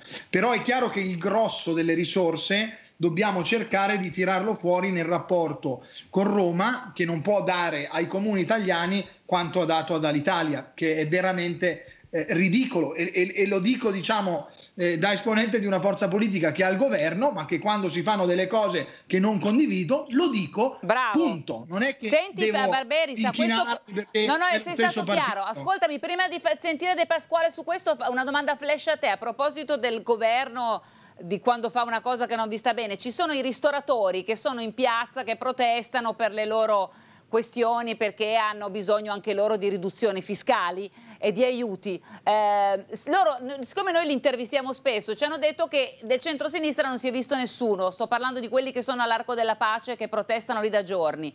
Eh, come mai non, non- non ci siete andati? Non la ritenete giusta la protesta? Cosa ne pensi tu? Ma a me hanno contattato eh, anche perché c'era questo ristoratore che era rimasto in tenda per Sì, tanti ancora lì. giorni davanti all'Arco della Pace e quindi andrò settimana prossima eh, anche perché eh, non c'è nessun tipo di disattenzione o volontà di discriminazione. Dico qui in maniera molto esplicita che è stata una fesseria fare le multe ai ristoratori eh, durante quella manifestazione, si potevano fare altre 500 cose per provare a distanziarli, a dissuaderli prima di arrivare coi verbali, Certo. che è una cosa che grida vendetta al cielo, perché stiamo parlando di persone che sono davvero disperate dal punto di vista economico, vai lì a fare una multa, a me manda fuori di testa. Quindi tu E ci vai sono- a trovarli? E non sono un ristoratore. ok? Vai a trovarli? E- e- non ho capito. Se Adriana. vai a trovarli. Sì, quindi cioè, mi ha contattato proprio una persona e quindi andrò settimana prossima, Ok. anche perché ehm, io sono solo contento poi di potermi confrontare, non mi interessa anche eh, se eh, fa parte anche del nostro mestiere di politici, quindi noi dobbiamo ascoltare okay. anche quando ci viene scaricata addosso della rabbia, Chiaro. ma credo sia fondamentale confrontarsi e non sottrarsi mai. Allora, De Pasquale, hai sentito che Filippo Barberis dice io o il governo su queste cose qua ci deve dare un aiuto più concreto e, e anche sia per quanto riguarda le tasse sia per quanto riguarda i ristoratori. Tu cosa ne pensi? Ma io penso questo, che se il sindaco Sala, anziché sparare tutti i giorni contro la regione, avesse cominciato un po' prima a controllare il bidone del suo governo, forse Milano non sarebbe stata trattata così male, perché qua l'assurdo è questo, la nostra città è quella che per prima ha dovuto chiudere, è quella che ha subito i danni maggiori perché nessuna città aveva così tanto turismo business legato ad eventi, a fiere, eccetera. Eh, quindi noi abbiamo avuto praticamente ristoranti, esercizi pubblici, negozi, alberghi chiusi per tre mesi e ancora il governo non ha stabilito nulla. Noi dal 25 di febbraio ci siamo messi a disposizione della maggioranza per dire siamo pronti a votare tutti quei provvedimenti urgenti di cui la città ha bisogno e abbiamo fatto una lista. Il primo era la riduzione della tassa sui rifiuti per gli esercizi pubblici, in particolare per quelli che sono stati chiusi, perché se uno è stato chiuso tre mesi, come fa a aver prodotto dei rifiuti? Poi certo. abbiamo chiesto di eliminare il canone occupazione solo pubblico e dopo tre mesi il PD e Barberis finalmente ci hanno dato ragione. Poi abbiamo chiesto di incidere anche sull'IMO perché molte persone fanno fatica a pagare degli affitti a Milano per i negozi, per i ristoranti. Quindi bisogna convincere non con provvedimenti forzosi che sono incostituzionali, ma attraverso la leva di sconti IMU, bisogna convincere i proprietari degli immobili dove ci sono i locali pubblici ad abbassare gli affitti almeno per quest'anno. Poi abbiamo proposto anche che il comune abbassasse i suoi affitti perché ci sono anche moltissime associazioni, circoli, ristoranti che sono ospiti del demanio comunale e poi comunque chiediamo che questa città, che è una città ricca, perché guardate che il comune è uno dei pochi comuni Fabrizio, che ha ancora devi dei soldi in cassa. Devi concludere perché c'è un altro collegamento. Chiudi, cioè, chiudi il tuo discorso, perdonami. Certo, quello che voglio dire è che purtroppo ancora ieri abbiamo visto che, che questa maggioranza di sinistra è, si pone il problema dei rider e non si pone il problema dei tassisti, degli artigiani, dei commercianti. Cioè, mentre i rider hanno comunque lavorato durante l'emergenza, ci sono categorie che stanno facendo la fame perché in questo momento non no, incassano da tre mesi. I, I tassisti, guarda, ci collegheremo lunedì con i tassisti, quindi parleremo direttamente eh, con loro del loro problema. Cerchiamo di... È assurdo che il comune abbia approvato un tavolo a favore okay, dei, dei rider e non abbia stanziato nulla a favore dei tassisti. No, Poi... però, però non è così, dai Fabrizio, cioè noi al tavolo con i tassisti ci siamo da settimane, poi possiamo anche fare un ordine del giorno di indirizzo sul fare anche un tavolo con i rider, ma al tavolo con i tassisti ci siamo da settimane. Non diciamo stupidate, per favore. E tra l'altro stiamo pensando proprio a delle misure che riescano a tenere conto da un lato delle esigenze sociali, penso ai voucher per i disabili, per gli anziani fragili, per le donne, per tutto il personale medico ospedaliero, che possano utilizzare i taxi in modo calmierato e tra l'altro è una proposta su cui siamo anche okay. d'accordo. Quindi Fermi, devo fermarvi, devo fermarvi perché ho un altro collegamento, per, perdonatemi. Posso ne faremo un altro. No, lunedì ci colleghiamo con i tassisti, chiediamo a loro se si sentono tutelati oppure no. Fabrizio? 30 secondi, eh, perché sennò ho ascoltato solo. No, scusatemi, io volevo solo far capire la differenza fra il centrodestra e, e il PD. Cioè, molte idee L'abbiamo nostre... capita la differenza, De Pasquale. No, Lo sappiamo che differenza c'è. Credo che l'abbiano no, capito tutti. No, no, se no dopo devo dare... Poi devo fare dare la replica a Barberis, non la finiamo più. Devo salutarvi, perdonatemi. Facciamo un altro collegamento presto, eh? No, però una replica la devo dare. Dai, dalla, però veramente, se no io non sento più, cioè sento solo voi due che vi replicate a vicenda. Dai la replica di 30 secondi. Io sto dicendo che è fondamentale il fattore tempo. Ok, abbiamo capito. Stop De Pasquale. Dai, Barberis, chiudi tu. La differenza, la, la differenza è che noi governiamo e non possiamo violare la legge per cui non possiamo spendere decine di milioni di euro perché tanto li chiediamo essendo all'opposizione. Il lavoro col governo che stiamo facendo è proprio per, nel rispetto della legge, riuscire a dare le risorse a molte categorie su cui okay. la vediamo in maniera condivisa. E De Pasquale, io però non vengo più a una diretta con te perché ti ho ascoltato dieci minuti in silenzio e se nei 30 secondi in cui parlo ho te sotto che parli non riesco neanche a sentire me stesso. Dico solo due cose e, e, e chiudo.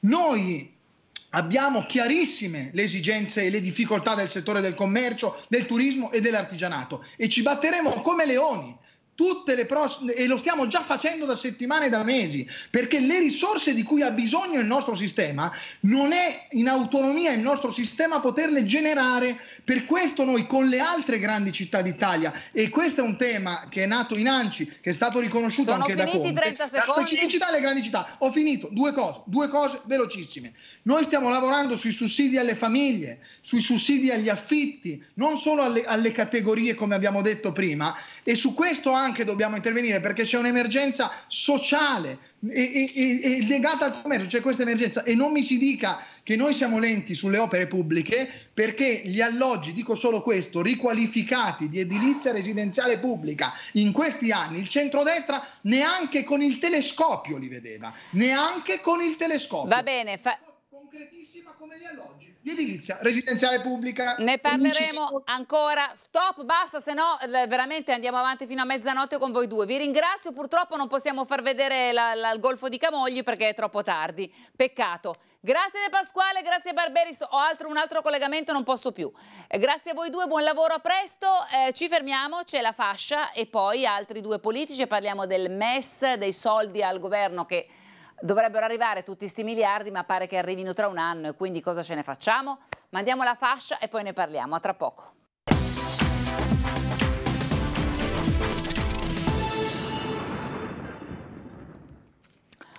Allora, siamo in diretta di nuovo con Silvia Scurati della Lega, no scusate mi viene da ridere perché abbiamo parlato di cronometri, e Nicola Di Marco Movimento 5 Stelle, buonasera, bentrovati a voi due. Ciao, buonasera a tutti. Allora, non parliamo buonasera, più di, ehm, di, piste ciclabili o di tasse milanesi. Volevo spostarmi su questioni più robuste che è quella del, degli aiuti economici. No? A questo punto la Lagarda ha concesso questo aiuto, questo prestito a fondo perduto di 82 miliardi, che però ormai è acclarato arriverà tra un anno e mezzo e mentre noi abbiamo bisogno adesso, allora si allarga sempre di più il fronte che dice prendiamoci questi 37 miliardi del MES eh, che arriverebbero subito e che ci darebbero una boccata di ossigeno e che noi possiamo restituire con tutta calma e con condizioni molto vantaggiose. Il problema è che le opposizioni non lo vogliono, ma mi sembra che anche all'interno della maggioranza di governo il Movimento 5 Stelle non lo voglia, quindi caso vuole che voi due credo siate d'accordo nel non volerlo però eh, una, una, una, parte dell'opposizione, Forza Italia, una parte del governo, il PD invece li vuole, cioè si è creata una maggioranza mh, degli schieramenti trasversali. Allora Di Marco parto da te perché il Movimento 5 Stelle è al governo, però non lo vuole. Conte a questo punto che fa? Ma io penso che la nostra posizione sia stata molto chiara in passato, anche negli ultimi giorni. Noi non, non ci fidiamo ancora di questo strumento denominato meccanismo di stabilità europeo perché al momento, a nostro avviso, prevede ancora delle condizionalità che potrebbero diciamo, crearci dei problemi nel futuro diciamo, della, del nostro paese.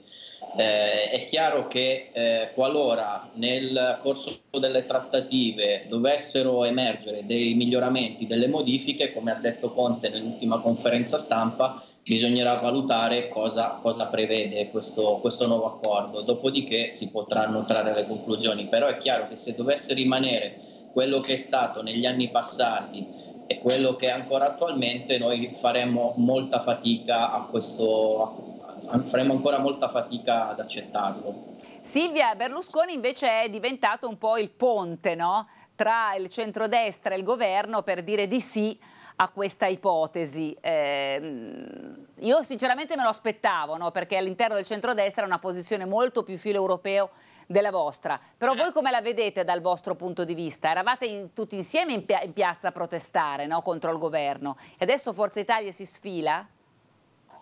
Ma sai, la posizione di Forza Italia, poi non tocca a me fare l'esegesi del pensiero di Berlusconi, però è sempre stato un partito molto più filo-europeista rispetto, certo. rispetto a noi, non è, non è un mistero e non lo nascondiamo.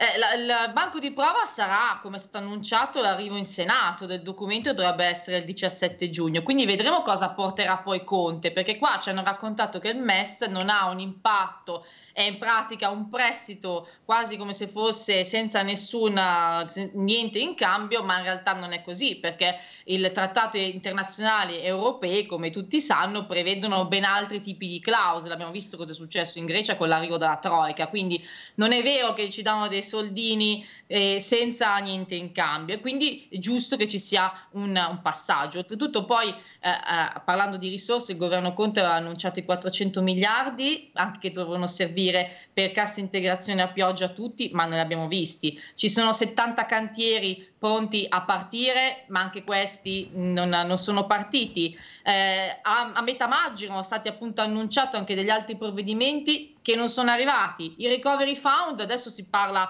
di qua, fa qualche anno, ma guarda caso viene riconvertito con un piano per il sud, perché anche questo è stato annunciato. Insomma, c'è molta confusione. Nel frattempo, l'unico dato certo, e lo dico per chi ci ascolta, è che il prossimo giugno lo Stato dovrà introiettare circa 20 miliardi di tasse che non sono state tolte ai piccoli comuni, quindi la tassazione è rimasta. Questo è l'unico dato certo, mentre le risorse per piccole e medie imprese che necessitano di ripartire subito, non nel 2021 o nel 2030 con un piano a lungo termine da parte dell'Unione Europea. Quella è l'esigenza di tutti noi. Quindi il BES però eh, in realtà ha chiaramente delle contropartite, perché poi dopo eh, lo sappiamo tutti che una parte di questi fondi vengono spesi nella parte sanitaria, sì. ma è una cifra già irrisoria per poter far ripartire comunque il sistema nazionale. Figuriamoci poi laddove in quelle regioni dove c'è stato poi un impatto maggiore legato al coronavirus, tant'è che la Lombardia si è fatta da sola, si è, ha fatto l'accordo con i medici, gli infermieri, i sindacati e i soldini nel piano Marshall per dare gli stipendi in busta paga eh, se li è messi. Questo Beh, però se arrivassero dei soldi fare. in più, se arrivassero dei soldi in più per amplificare, per migliorare ad esempio la rete territoriale della medicina lombarda, credo che non farebbero schifo, no? Cioè, Assolutamente eh, no, certo, eh, ci mancherebbe altro. Jacopo, Alla fine la sanità è un diritto di tutti. Eh, certo. Volevo, volevo capire, a parte il fatto che faccio una battuta rapidissima, sostanzialmente quello che voleva Renzi a suo tempo, cioè creare questo asse con eh, il centro, quindi anche Forza Italia, eccetera, è successo, ma Renzi non è più nel PD e quindi fuori tempo massimo. Vabbè, a parte quello eh, di Marco, una cosa, eh, si dice, dicono che Conte debba andare in Europa a cercare di fare in modo che questa cosa diventi più ancora emergenziale e quindi si sblocchino prima i soldi del recovery fund piuttosto che aspettare che tutti i parlamenti li approvino e che tutto quello che è la burocrazia anche europea arrivi a dare il via libera probabilmente a metà del 2021. In realtà noi i soldi abbiamo bisogno adesso. In questo senso voi state cercando di mh, premere con, uh, con, il Presidente del Consiglio perché prenda il primo volo possibile e vada a fare quello che, quello che chiede. E chiediamo tutti, insomma, cioè far arrivare i soldi immediatamente, perché se no... Ma questo è ovvio, questo lo, il Presidente Conte penso che lo dica già da parecchie settimane che l'appuntamento più importante che abbiamo è quello con l'Europa. Eh, noi non siamo ancora, diciamo, sono stati fatti. Però adesso il 18 mi sembra che ci sia il Consiglio europeo, è l'unica data possibile per fare qualcosa di quel tipo, però. Eh. Cioè, se, se, va là senza il, il, coltello tra i denti, arriviamo a giugno 2021 sereni. Eh. Sì, questo è vero. Poi mh, sono ovviamente d'accordo. Volevo anche dire però alla collega Scurati che parlava di piano Marshall di Regione Lombardia.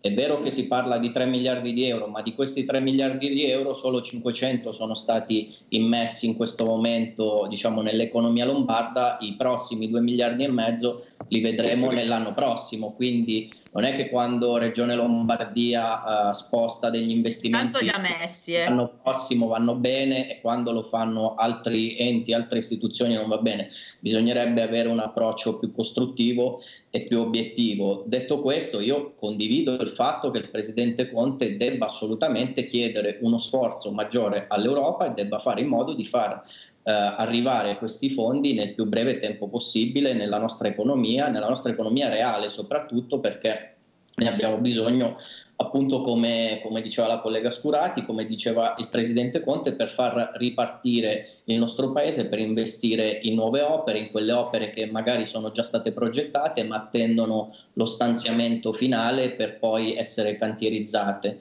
Noi su questo ci siamo sicuramente, diamo il nostro contributo e ci auguriamo che vada, diciamo, vada a segno questo, questo risultato, però io non, non, andrei comunque a denigrare quello che è eh, questo risultato parziale, perché parliamo di oltre 150 miliardi di euro su circa uh, eh, 750 e penso che nessuno poche settimane fa avrebbe mai potuto pensare a importi di, di, questo, di questo, livello per, uh, per, la nostra nazione. Anche se Quindi però, bisogna, anche se bisogna però dare anche atto no, al no, lavoro no. che è stato fatto Ma sono tutti poi no, no, per il meglio. Di Marco, scusami, certo, il problema è che se arrivano tra due anni eh, sarà tardi per aiutare i settori che hanno bisogno. Scurati, aspetta, mando la fascia e poi replichi tu, ok? A tra poco.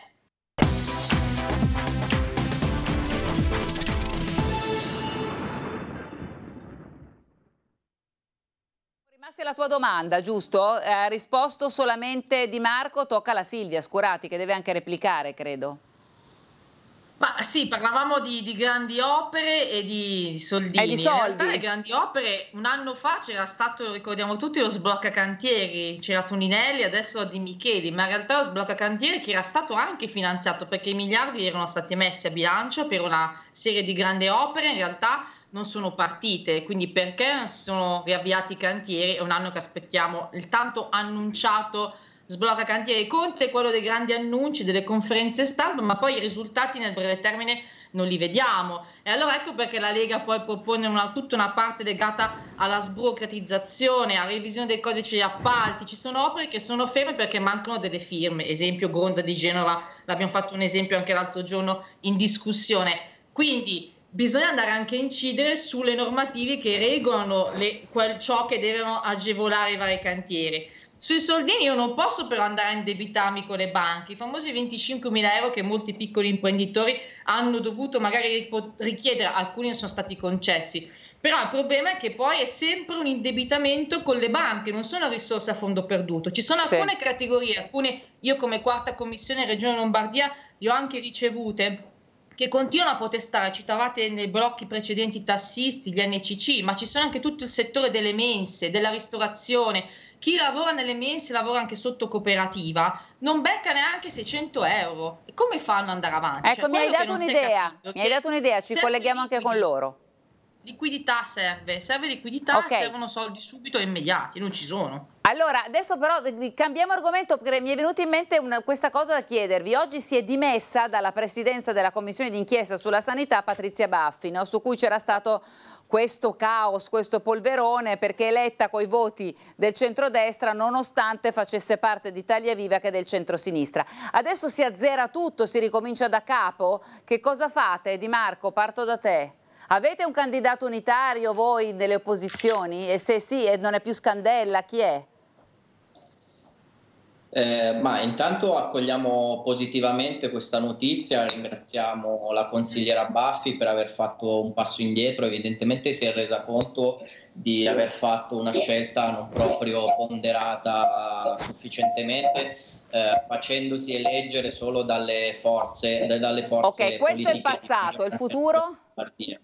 Sul futuro ovviamente penso che si possa rimettere in gioco la nostra partecipazione alla commissione d'inchiesta così come chiediamo da mesi e poi ovviamente penso che eh, si avvieranno nei prossimi giorni nuove trattative per arrivare a un nome condiviso da parte di tutte le opposizioni.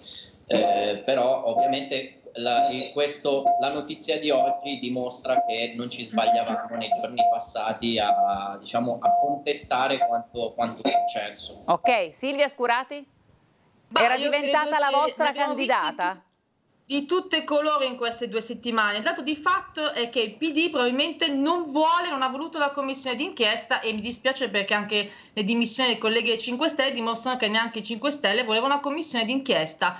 È stato avviato un clima veramente orribile nei confronti della collega Baffa, a cui va la mia solidarietà anche in quanto donna perché è stata veramente una cosa allucinante. La collega Baffi che si era candidata come altre esponenti dell'opposizione, anche il consigliere Usuelli conta uno in consiglio regionale, eppure se era candidato. È stata votata democraticamente con voto segreto il clima che si è instaurato il giorno dopo vuol dire che c'è qualcosa che probabilmente non va, ma all'interno dell'opposizione stessa. Credo che dimettendosi vuol dire che loro stessi che volevano imporre un candidato e non farlo eleggere democraticamente. La collega Baffi di Taglia Viva, che non è della maggioranza, quindi esponente di minoranza, è stata eletta democraticamente. Dimettendosi, evidentemente, non hanno alcun interesse a fare la commissione d'inchiesta. Non mi sorprendo, visto che in Emilia-Romagna Bonaccini non l'ha neanche voluta quindi probabilmente è modus operandi. Beh, però, la, la, sì, però il problema è che tutte le polemiche che sono nate sulla questione sanitaria sono nate in Lombardia, in Emilia Romagna mi sembra molto meno. Sì, quindi... io se voglio la commissione non mi dimetto, lavoro. Beh sì, Questo però il presidente della commissione votato semplice. dalla maggioranza era un po' anomalo. C'è qualcuno che probabilmente ha qualcosa da nascondere volendo imporre un proprio presidente. Beh, però era anche un po' anomalo. Era anomalo. Il contrario però. Forse Quindi, la maggioranza no, però, però, perdoni Di Marco, no, di Marco... Niente, è stata votata a voto segreto. Sì, Se sì, voi sapete l'elenco di voto segreto, Sì, però in realtà, scurati, in realtà è, è, deve essere cioè, esponente della minoranza, ma anche una sorta di scelta della minoranza eh, che sì, poi viene avallata dalla maggioranza. Il problema magari è la minoranza di Marco che invece di presentarne cinque doveva chiudere una, eh, una trattativa facile su un nome eh. e presentare un nome. Eh sì, cioè. Attenzione, no, cioè mettetevi d'accordo prima. In Lombardia eh, ci sono 4-5 gruppi di opposizione, però sappiamo tutti benissimo che i due gruppi più importanti che contano circa 30 consiglieri sono Quindi quelli... deve essere imposto il nome non votato. È un'imposizione. È, eh no, sì, certo, è stata votata è una spartizione. è stata demonizzata dal giorno dopo, veramente con delle questioni anche sessiste che abbiamo letto sui giornali vergognose. Veramente non degne di un consiglio comunque vedremo chi sarà il prossimo candidato. aperto veramente. Io speriamo io che so sia un candidato parla, unitario. io non so di che cosa parla sui giornali e si leggeva. E se c'è, qua, se c'è stato qualcosa io ovviamente mi dissocio. Quello che posso dire è che in Regione Lombardia i due gruppi maggiori sono quelli del PD e del Movimento 5 Stelle. Hanno espresso eh, dei nominativi che eh, non sono voluti, eh, non, sono voluti non, sono, non, sono stati accettati del Partito Democratico. Italia Viva che a sua volta e uno di, e uno di più Europa.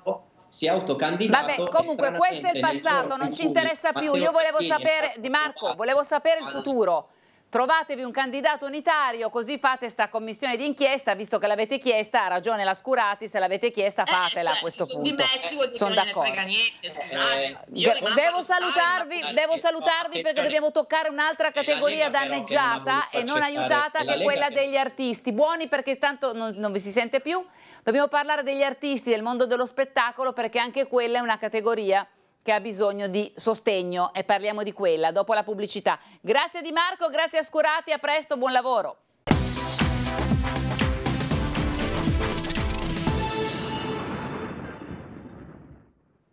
Allora, lasciamo i politici, basta, facciamo un po' di spettacolo, un po' di teatro, un po' di, anche di giornalismo con Sabina Negri, attrice, giornalista, bentornata tra di noi. Tu sei un ospite frequente a TV Click che però purtroppo con, eh, con il Covid, con l'emergenza Covid abbiamo sospeso. Peraltro tu sei anche di Codogno, quindi insomma la, questa cosa l'hai vissuta anche da vicino, insomma.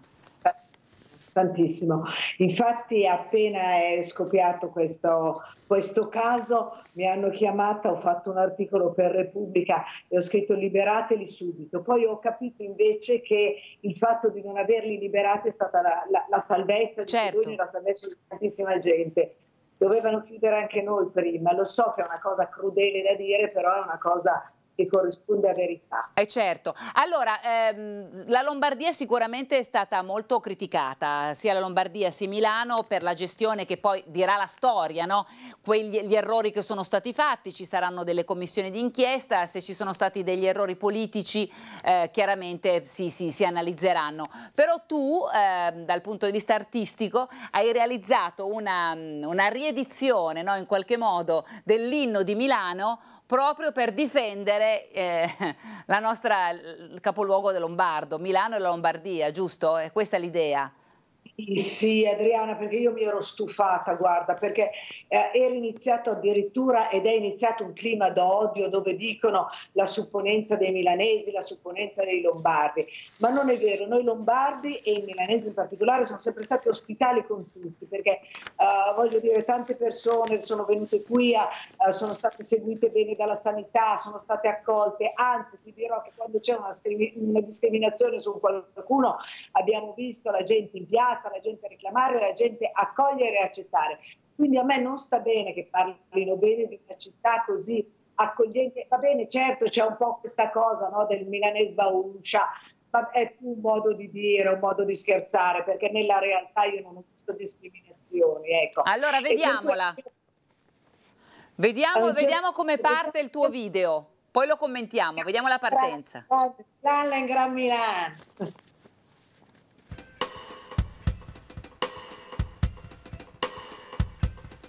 La saper che il monte è il Disa, ma Milano è un gran Milano. Porta Cicca e la Buvisa, Sant'Ambresco e Sa Campana. E la nebbia che bellezza. La già per i polmoni. Fioca che gioia che il parco i bastion. Per scia senza andare al motarun. Fa ragazze per pieve andem gioto un burlun. La poccia poccia il paredone.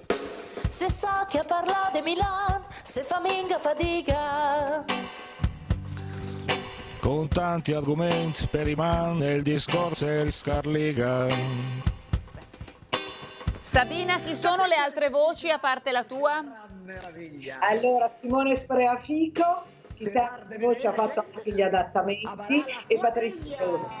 Che sono chiamati in tri perché noi tre abbiamo iniziato a dire che cosa possiamo fare. Facciamo una canzone. Come la facciamo? facciamola in dialetto milanese. Eh, avete fatto bene. Senti ma ehm, il, gli artisti come se la passano in questo periodo? Perché eh, c'è un'altra categoria un altro mondo eh, con tre mesi senza lavorare No, guarda, se la passano malissimo, anche perché c'è stato un momento veramente di, di, di discriminazione. Pensa che noi eravamo, uh, stavamo facendo, io avevo storti, Simone Spreafico e Patrizia Rossi, uno spettacolo su Gianni Brera e a un certo punto ci hanno chiuso le porte in pace, era domenica pomeriggio, dovevamo fare la pomeridiana e hanno detto tutto chiuso, tornatevene a casa. Noi non sappiamo se questa piazza la recupereremo, non, non abbiamo più saputo niente, c'era il pubblico fuori che aveva voglia di, di viverlo il teatro, forse non aveva neanche paura in quel momento. Eppure ci hanno mandati tutti a casa e da lì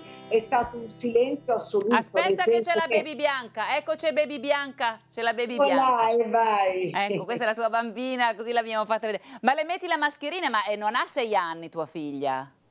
No, no, ha tre anni e mezzo, eh, quasi quattro. E però quello era il periodo proprio rosso, ero andata a fare la spesa al supermercato e ho detto, senti, non si sa mai, per precauzione. Hai fatto bene, hai fatto bene. Eh, e lei mi è scappata via però, mi è scappata di mano, ha iniziato a correre, correre, correre, poi io l'ho chiamata e lei ha alzato la mano per salutarmi e mi è sembrata la cosa più bella perché è vita, cioè è un bambino che corre in un prato, certo. cioè questo Senti, allora dicevamo, io eh, dai dati che ho eh, sono circa mm, eh, 380.000 le persone legate al mondo dello spettacolo e della cultura che in Italia non stanno lavorando da tre mesi. Eh, c'è Sandra Milo che si è incatenata in, a Roma e poi è stata ricevuta da Conte. Mm, dal punto di vista degli aiuti economici del governo come, come siete messi? Al momento mi sembra che siano un po' dormienti, ecco, diciamo così, per usare un termine un po' massonico, perché ehm, cioè non c'è niente di concreto, anche Sandra ha fatto bene, nel senso però è stata ricevuta, dopodiché non è successo niente, perché poi quando uno parla dello spettacolo appunto pensa a Sandra Milo, ma io invece penso a tutte le maestranze, penso ai tecnici, penso al datore Luci, penso al direttore della fotografia, cioè tutta gente che ha famiglia, che sta aspettando. Poi è vero che Conte è uscito con questa espressione eh, che eh, ha dato tanto fastidio a quasi tutti i colleghi, no? che dice eh, il divertimento, però ha aggiunto anche per fortuna la passione, perché poi non, cioè, il nostro lavoro non è solo divertimento, anzi le accademie, devo dire, da, da chi le ha frequentate, è tutt'altro che divertente, è una cosa massacrante, certo. è una cosa dove eh, quando esci, insomma, devi fare anche Joyce, non è che ti metti a fare uh, il clown o con tutto il rispetto che ho per il clown, eh? cioè, però, però scusami insomma... Sabina, tu non avresti paura adesso a tornare sul palcoscenico a recitare col fatto della distanza, no? Perché chiaramente se reciti, cioè noi quando lavoriamo possiamo stare distanti, eh, però chi recita non può. Dunque, innanzitutto ci sono delle forme di spettacolo che vanno ricercate che potrebbero essere tipo uh, noi facciamo spesso dei monologhi con sì. musica e allora a questo punto uh, possiamo tenere le distanze, dipende dalla grandezza del palcoscenico, dipende nella sala, non avremo 300 spettatori certo. su 306, ma dovremo accontentarci di 100 spettatori, ma va benissimo così, riduciamo gli spettacoli, riduciamo i costi, uh, penalizziamoci però facciamoli. Poi Adriana, io invito anche eh, i cittadini di Milano ed, di darci dei cortili dove poter fare le rappresentazioni all'aperto, all'aperto sì. eh, cioè dove noi possiamo fare, cioè che tutti collaborassero per stare in piedi, anche perché il nostro è un paese di artisti, cioè eh, l'economia, la finanza, tutto quello che si è attaccato dopo, in realtà vengono a Milano, vengono in Italia per vedere la storia dell'arte, per vedere il teatro, per vedere eh, le biblioteche, la letteratura, le mostre. Noi questo siamo essenzialmente, noi siamo arte, pane e arte e quindi se ci restituissero questo bisogno che noi abbiamo di lavorare, anche i privati cittadini, che si mettessero a disposizione dell'arte, visto che tutti siamo un po' artisti. Certo, quindi luoghi pubblici, luoghi all'aperto dove poter ricominciare. Jacopo. Ma io non ho capito una cosa, ma voi i famosi 600 euro, Qualcuno li ha visti? No, nel senso perché, perché molti, molti, mi hanno detto del vostro mondo che non li hanno presi sostanzialmente. No, no, tantissimi non li ha mm. presi perché c'erano tutta una serie di cose, eh, di, di, canoni da rispettare. Per esempio noi siamo un'associazione culturale senza scopo di lucro e eh, io mi occupo anche di giornalismo, fortunatamente questo mi ha tenuto in piedi, però il nostro Simone Spreafico, che è il nostro chitarrista, per esempio fa solo quello e dice io sono dipendente da un'associazione senza scopo scopo di lucro, per cui io non posso dimostrare grandi redditi, per cui è stato penalizzato. Dopodiché c'erano dentro i notai, ma io per l'amor del cielo, tanto di cappello sui notai, però insomma magari non ne hanno bisogno. È quello ecco, che abbiamo detto anche noi. L'abbiamo detto, abbiamo eh. fatto l'appello anche noi che i, i 600 euro ai notai forse eh, non era il caso di darglieli. Non ho niente contro i notai, anzi magari purtroppo un giorno ci avrò pure bisogno del notaio, però... Eh sono d'accordo Però con te. non è proprio una categoria che ha bisogno, ma come il buono babysitter è uscito il giorno dopo, gente che aveva bisogno, perché noi bambini li abbiamo a casa da scuola. Io adesso chiaramente mi devo sacrificare e pagare la babysitter un sacco di ore, eccetera, eccetera. Io non l'ho chiesto perché ho un po' di pudore facendo anche la giornalista, però quanti miei colleghi l'hanno chiesto e non ne hanno bisogno, magari non vanno alle cioè è stato fatto tutto un po', forse un po' troppo velocemente, un po' troppo superficialmente, senza, come se non conoscessero la realtà contingente del mondo, hai capito? Eh sì. È come se uno stessi lì a teorizzare, perfetto, però teorizzi poi sull'economia e sulla vita del, dell'altro. Ecco. Senti, ma tu quindi a questo punto non hai, eh, se, riesci con il, il tuo staff a fare dei progetti, dei programmi o siete proprio fermi? Allora, noi avevamo, avevamo, deciso di debuttare con uno spettacolo su Angelo Fausto Coppi, l'eroe nato contadino, che erano i suoi 60 anni, eravamo felicissimi di poter debuttare in Piemonte, poi di in Lombardia, purtroppo si è fermato tutto, eh, si è fermato tutto e noi non siamo minimamente in condizione di, di, uh, di andare avanti. Perché? Perché non c'è stata la possibilità Dopodiché adesso se fanno delle stagioni all'aperto vediamo come riuscire a mettere insieme, però la vedo dura, nel senso certo. che cioè, riprendere uno spettacolo come Brera che è già in scena, ok, fai un ripasso, eh, ma fare degli spettacoli nuovi, cioè entrare nel discorso produttivo è difficilissimo perché non sai che ritorno avrai, eh, forse certo. neanche ne avrai. Eh. Vabbè, speriamo, no, il tuo appello di, dare, di trovare dei cortili, dei luoghi, magari dei luoghi belli, no, che siano anche piacevoli da guardare, dove far ripartire il teatro come intrattenimento e come forma d'arte è un appello che io condivido, insomma, speriamo che bisognerebbe farlo anche al sindaco, no? che se il sindaco vi dà una mano la cosa si può anche, può anche prendere più piede.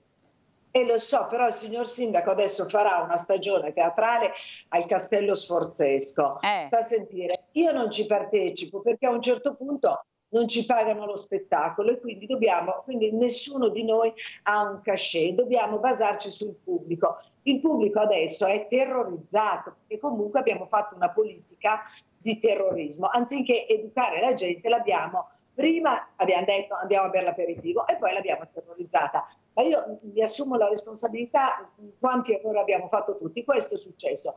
Quindi io vado là, occupo 10 persone a lavorare, magari mi, mi viene il pubblico esiguo. No, no, è chiaro, è chiaro. Certo. Cioè, hai capito Va cosa bene. succede? Eh, per cui bisognerebbe anche dare degli incentivi, ma non solo ai teatri, anche a noi che siamo povere eh associazioni. Sì. Eh, io bene. lavoro in carcere, io tutto quello che devo fare uh, a livello di solidarietà sociale lo faccio, si mettessero a farlo un po' anche gli altri. Vabbè, però, eh. chiaro, devo salutarti, devo salutarti perché sono già oltre il tempo prestabilito. Ci spero che ci vedremo presto, in bocca al lupo, grazie per, la, per l'inno per Milano, insomma, che è di buon auspicio per tutti. Saluta Baby Bianca. Grazie, grazie. Milan in Gran Milano. Buonanotte. Milan in Gran Milano. Ciao Sabina, pubblicità.